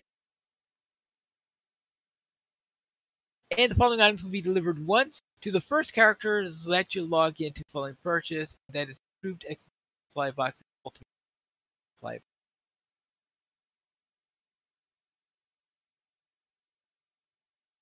And go. And each edition of Before the Shadow has its own Expedition Supply box. Just so you know that. And bonus items that are delivered to players through items located in their inventories named are Graceful Elven Dance Emote, Before the Shadow Collector's Edition, and of course the Ultimate Fan Bundle and the Ultimate Fan Bundle Monster Play Appearances is another box, and the Caras Galadhon Mural Alcove. And that's what it's called. The Caras Galadhon Mural Alcove is the housing teleport item.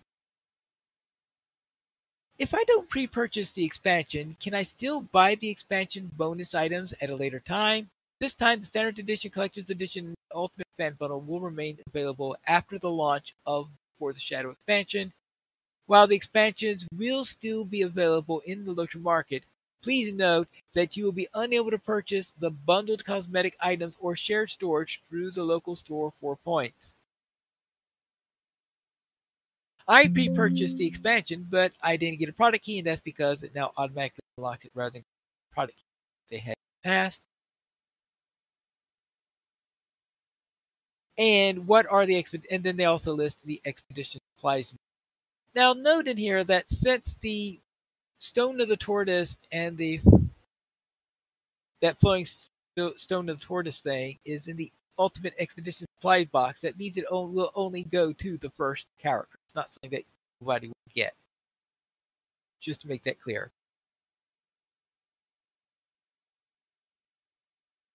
Will all Before the Shadow content be released at the same time? And the answer the six player instance will be released after the release of Before the Shadow expansion in November. And then they also show what some of the cosmetics look like below that, where they show the heron. They show some of the cosmetics and and they also the dressage emote and the tortoise. Well, okay, the dressage emote is going to be hard to really view since still image and still images don't show you emotes all that well. And as I said before, there is a 10% discount for VIP.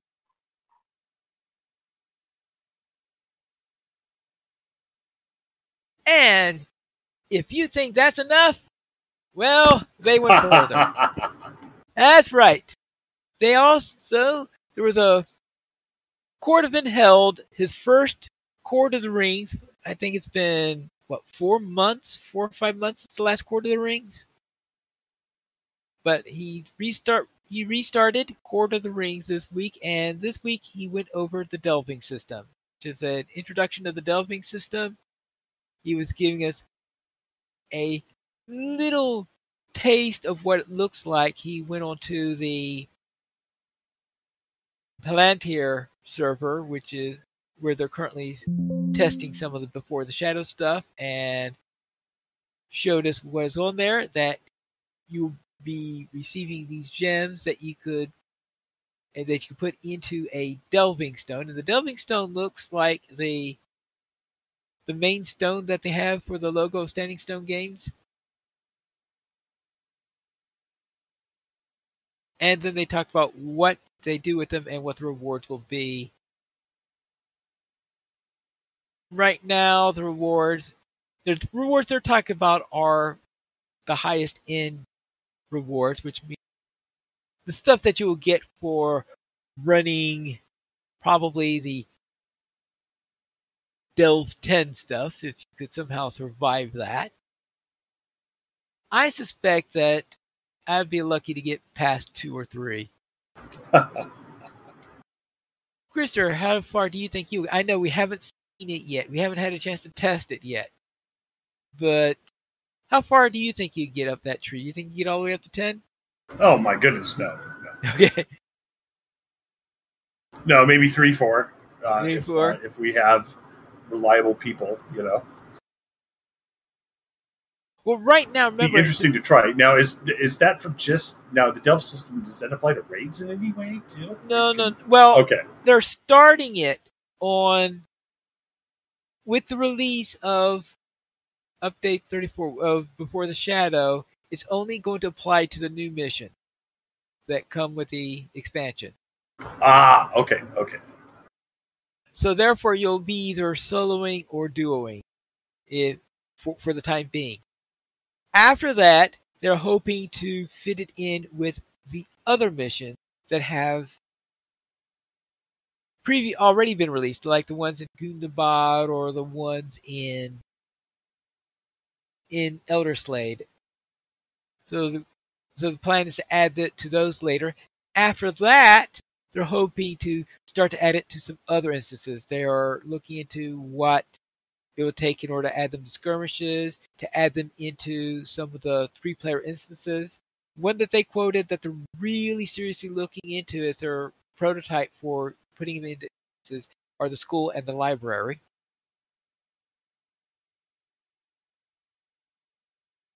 And this is really this is that's kind of that's interesting then because I because I'm gonna I want to try that I want to see what you know if you put it up at four or five yeah what are you going to get if you actually make it through?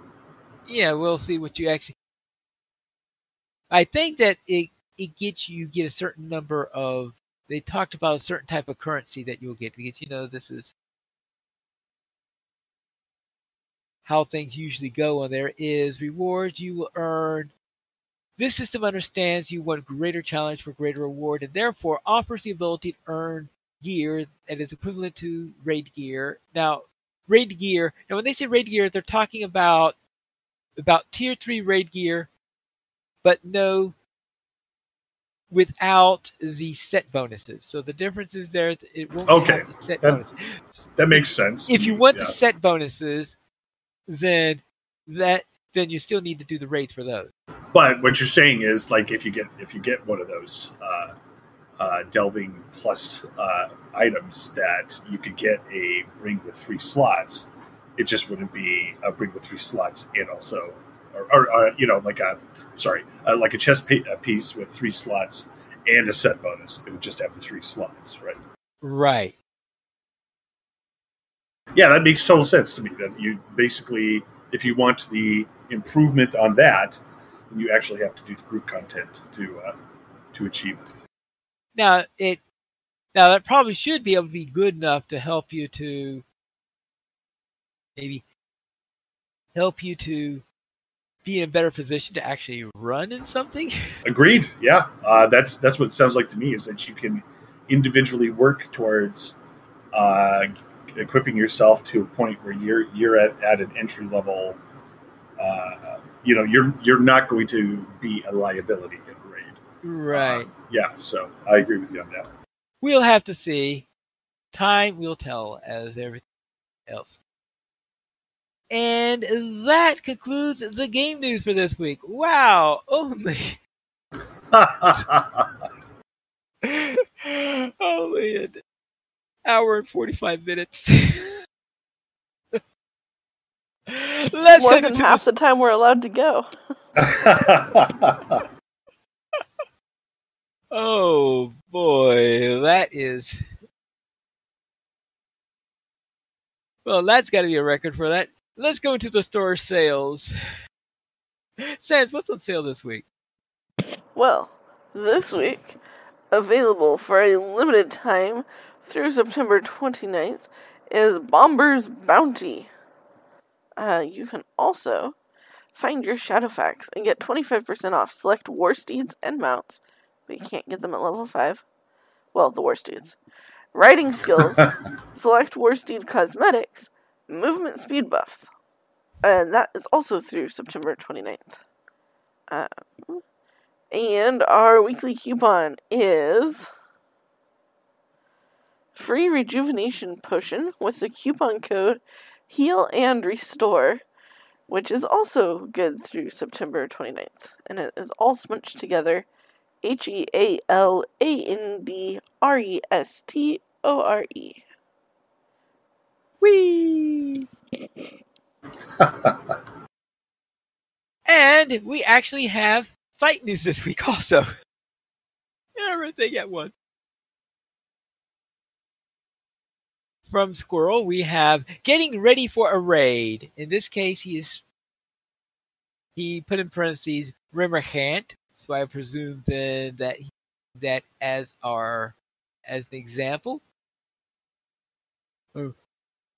Written, but a never completed draft from May 2020, probably not complete, but a nice read or an intro to UV that you want to take to your first steps into groups. Most of it applies to Hidden Horde now, except it is a bit worse of a raid in hindsight than Remmorchant. Apparently, he doesn't like. How would you compare Remmorchant versus Hidden Horde, Christopher? Uh, I want it. Well, oh boy, because uh, there's elements of Remmorchant that you just absolutely despise. there's some, but uh, boy, that's a good one. I would. I want to say Hidden Horde has felt tougher uh, than uh, was, but that being said, Boss One and Remmorchant was a complete nightmare for us. And, uh, took a long, long time for us to get by. So. Someday I'm going to have to be try that raid. Well, you've come on Hidden Horde with us a few times now, so yeah, I've been on Hidden Horde a few times. We'll probably have to do. I'm, I'm assuming that we're gonna, you know, we'll broaden our raid spectrum uh, once more. Uh, once everybody's have, tired of.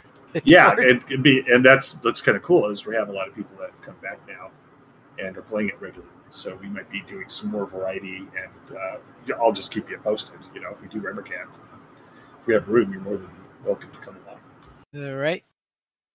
Well, that's right, because next week, the next week Mythgard is doing Fall of Khazad-dûm. We'll see how that works. Well, I have to first see if I can get into it because if, if the show's as long as because it's it's going to be so starting maybe an hour after we gather for this. So you can imagine if we have as long a show next week as this week. There's no way I'm doing. That can't be possible. well, you got a point there. but anyway, his first thing is make sure you want to raid. Yes. yes. Because raiding can be yeah, it it frustrating. Yep. Frustrating, yes. It can get frustrating. Right. I guess that's a good way of putting it. And it means being able to operate well with a, with 11 people in there. And raids tend to get very chaotic based on my ex- little experience in them. Probably some get more. And of course, it might be also depend on what raid it is, because I suspect that Sans is less excited about Remmorchant be about Hidden Horde well, I mean, spiders. Yeah. Yeah, there's a lot of spiders in Remmorchant, so that might be the deciding factor. I would expect there to be a lot of spiders there, yes. Then he talks about getting ready before the raid, like the discovery deed. Oh, yes. I was going to mention something about that, yeah. Right. It always stinks right when you're getting get ready, and somebody's like, oh, wait, I don't have the. I don't have the intro quest done. Oh. and in fact, somebody has already Mythgard's already asked somebody to park their captain over at the Discovery site yep. for the Fall of Khazad-dûm. Yeah, that's a great idea because then that just that just eliminates that pain right there. Yeah, if you, if you have somebody that just port people over there. Yeah, uh, just just for, in fact, that's how I had the discovery on Remmorchant. I think of my three characters, I think have done it. Two of them were ported there. I think the third one, I ran over there. I did run over there myself and figure out where where it was. But yeah, the easiest way usually is, oh, is there a captain over there? Yeah, I had Krister. He had that. Uh, he had that set for his. his uh, uh, he would go out there all the time, basically, to summon people. so.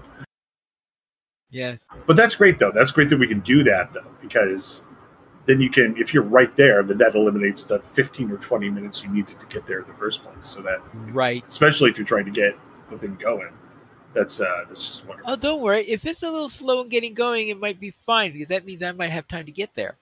That's true. That's true. That's why we, like with with Hidden Horde, you know, there is a discovery process with that, and so typically if people haven't discovered it, then we're like, okay, well, we're going to start. We're going to pull trash and then you work on getting here. And by the time you're here, we should be at boss one, which is really when you need to be here at that point. Um, so hopefully that's the case. Is that the timing will just be perfect.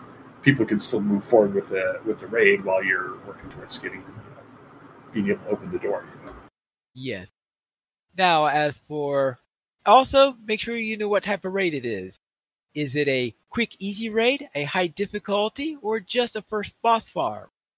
The type of raid or group that you're joining will decide how far along you'd have to be on a specific character. For example, for Hidden Horde, are you doing tier one, two, five? Makes a big difference on. I suspect tier five is probably not done with too many pug groups.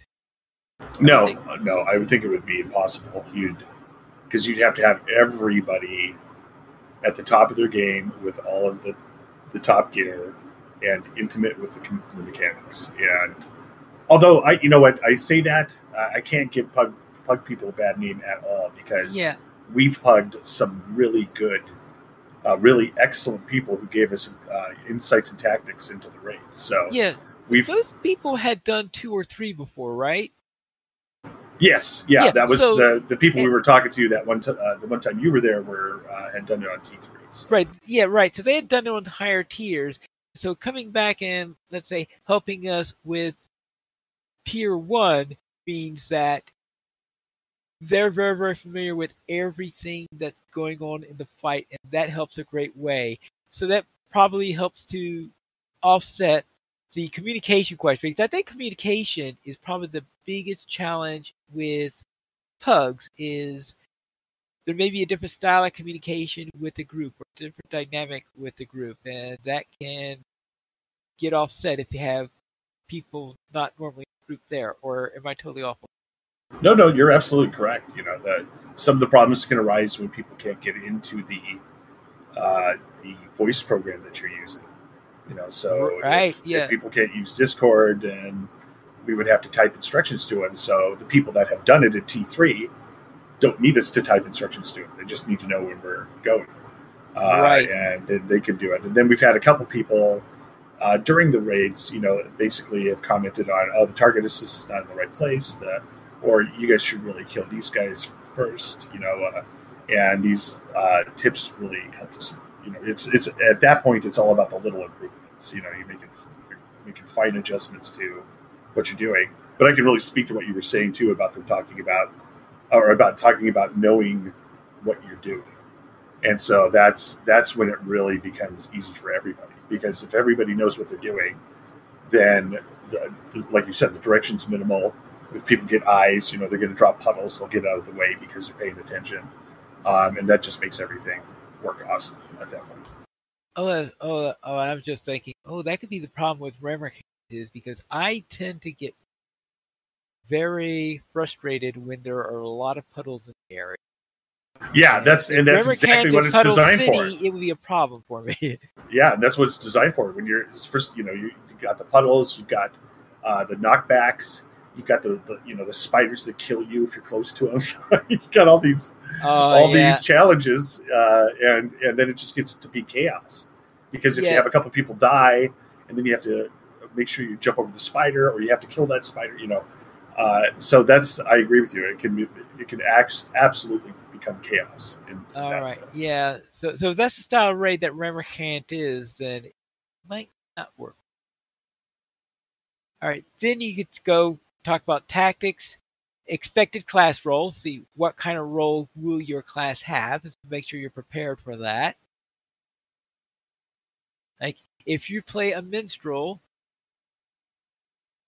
just remember if you if you join a pug as a minstrel, there's half a chance. There's, there's a good chance that the raid be is looking for a healer. So if you are red line only, that can be a problem. And then, of course, he does talk about voice chat, the problems that you could potentially have with voice chat, and talks about consumables yes, and talk about basic consumables, scrolls, don't say tokens. yeah, scrolls. Better not say course- tokens. and and of course, potions are also in there, and of course the other consumables that you have, things like the the store ones, the scroll of morale and power thing, the five five percent attack damage and tome of defense, those things Yep. that I usually use raids because I have them piling up on my character sometimes from Hobbit present. And he also talks about these consumables. Like one thing he's showing is it it's Zillarharn roll, and I'm wondering, okay, this is apparently something that's created by top gilded cooks, and you know how many expansions it's been since I've bothered increasing my cooking guild status. I got to max in there, but there was absolutely nothing that cooks did. I think up and up to Helm's Deep, cooks were always left behind in everything when it came to to guilds. So I just stopped leveling my cook. No, I, I've leveled the cooking itself, but not the gilded recipes. There's talk about this roll here that gives plus 2.5% damage and outgoing healing physical mastery. What? I never heard of this before. oh, that's a roll. That sounds more like a croissant. Yeah. These consumables are temporary, but they're a large enough difference that on any rate of pushing you over the level in there. And he says acquiring these acquiring these buffs treat cheaply. Well, for me, it means doing a lot. Of, what I don't know how many tiers of cooking they've added. uh, Not just regular cooking. I mean, of course, gilded cooking. They had it since I stopped doing that. So I don't know about that. He also talks about plugins. Make sure that you're on time. And Absolutely, yeah. make sure on time or if they know that you're going to be that you're all set and and can get there before boss one you might be able to yeah get away with the trash as you noted Yeah, if you're And just course- grouping up with another person, then maybe it's not that big of a deal. But if you have 11 people waiting for you, then it's relatively rude to do that. So.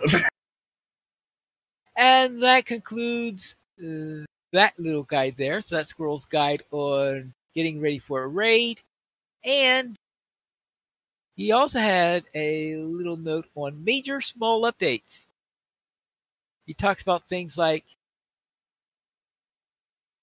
updates that made a big difference even though they weren't considered big major ones. Like one of them was essence crafting and reduction slots. He talked about Evendim, the PVMP override, one little button that changed your graphic setting so for when you're in PVMP, so so that if to, so you could reduce your graphics in the moors so that you didn't have to worry about being lagged out because lag in the moors is probably worse for it to happen there. If it, like I agree. Nothing like having your screen freeze for 20 seconds and then you're dead. Yeah. Virtues being tied to specific deeds he talked about. Barter wallet. Talked about that one. Disenchanting gear and items.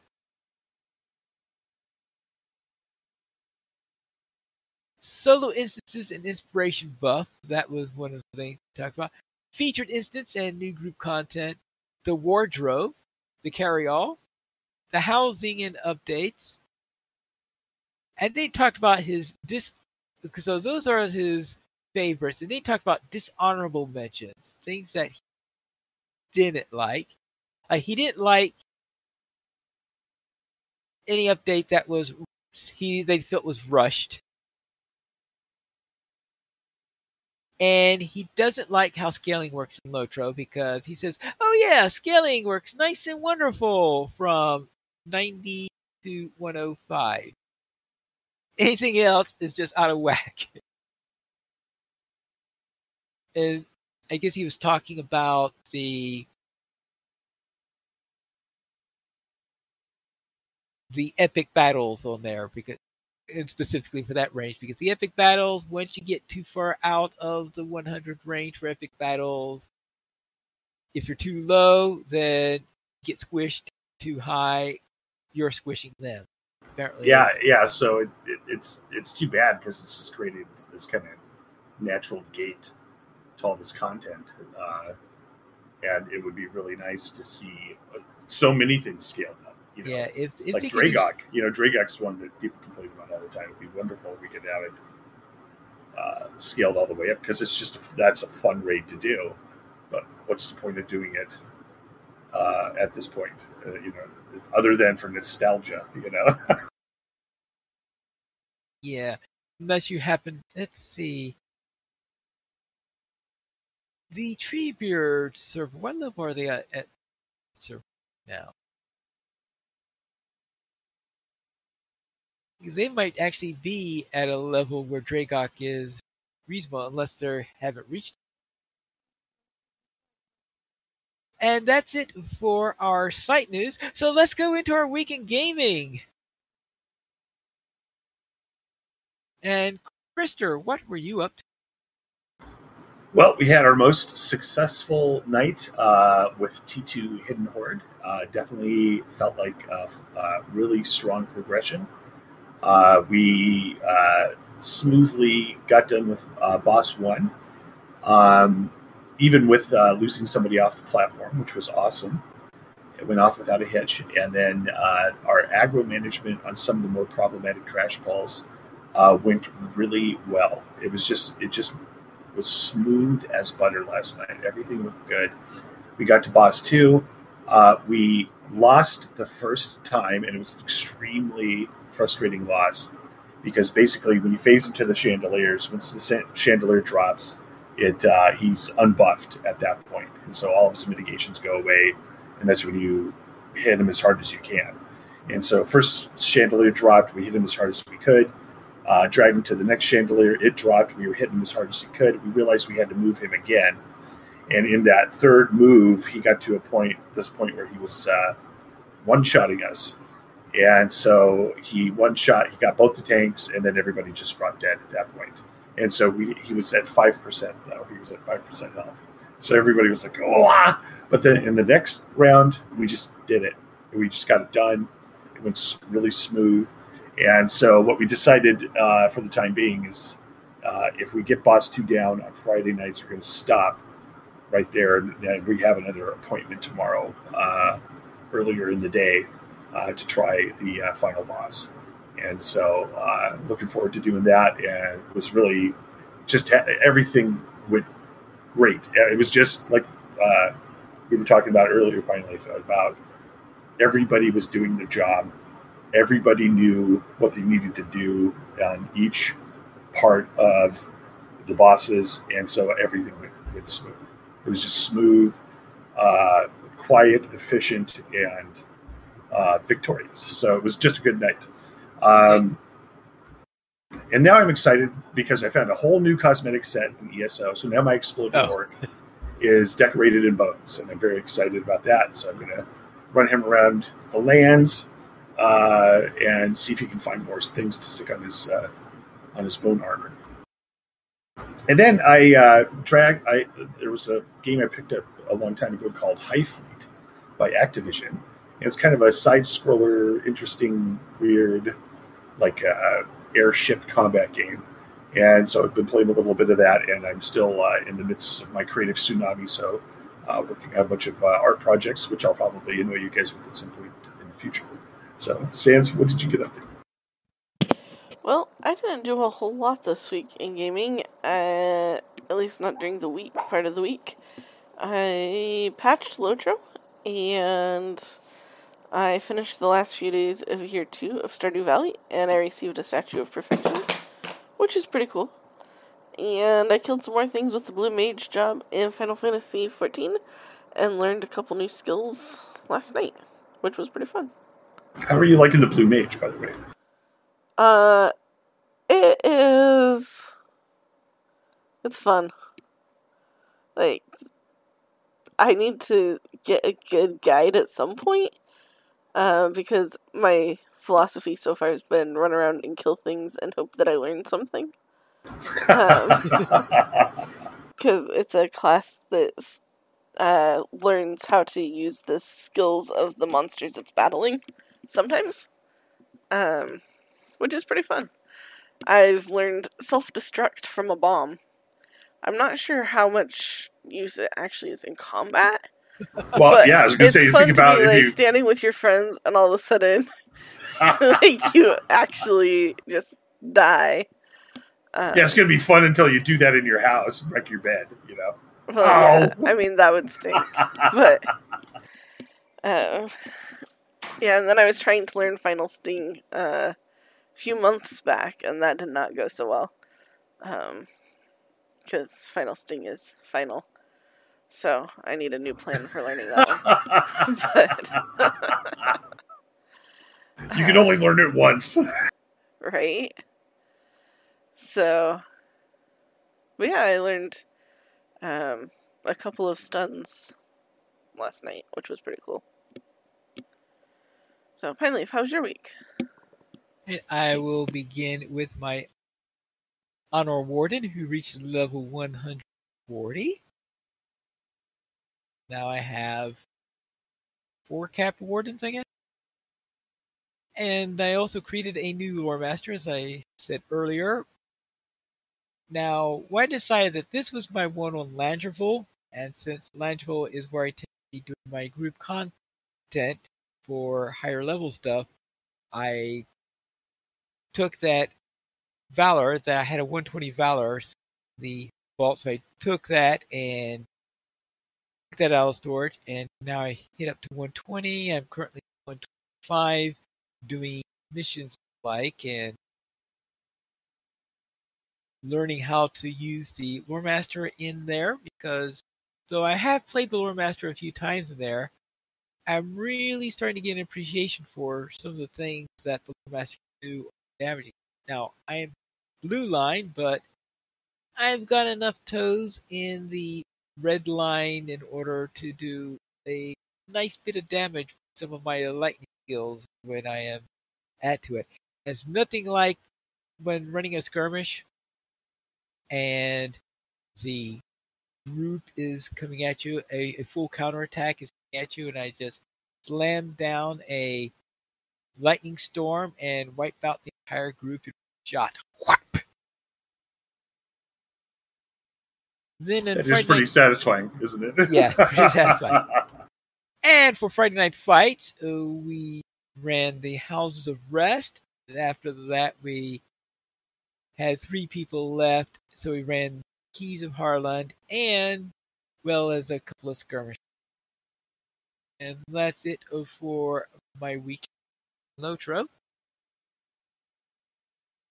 We currently have 16 supporters on Patreon. If you'd like to join this illustrious rated players and help support Lotro players, you can go to the Nature's page support the Players Alliance on Patreon.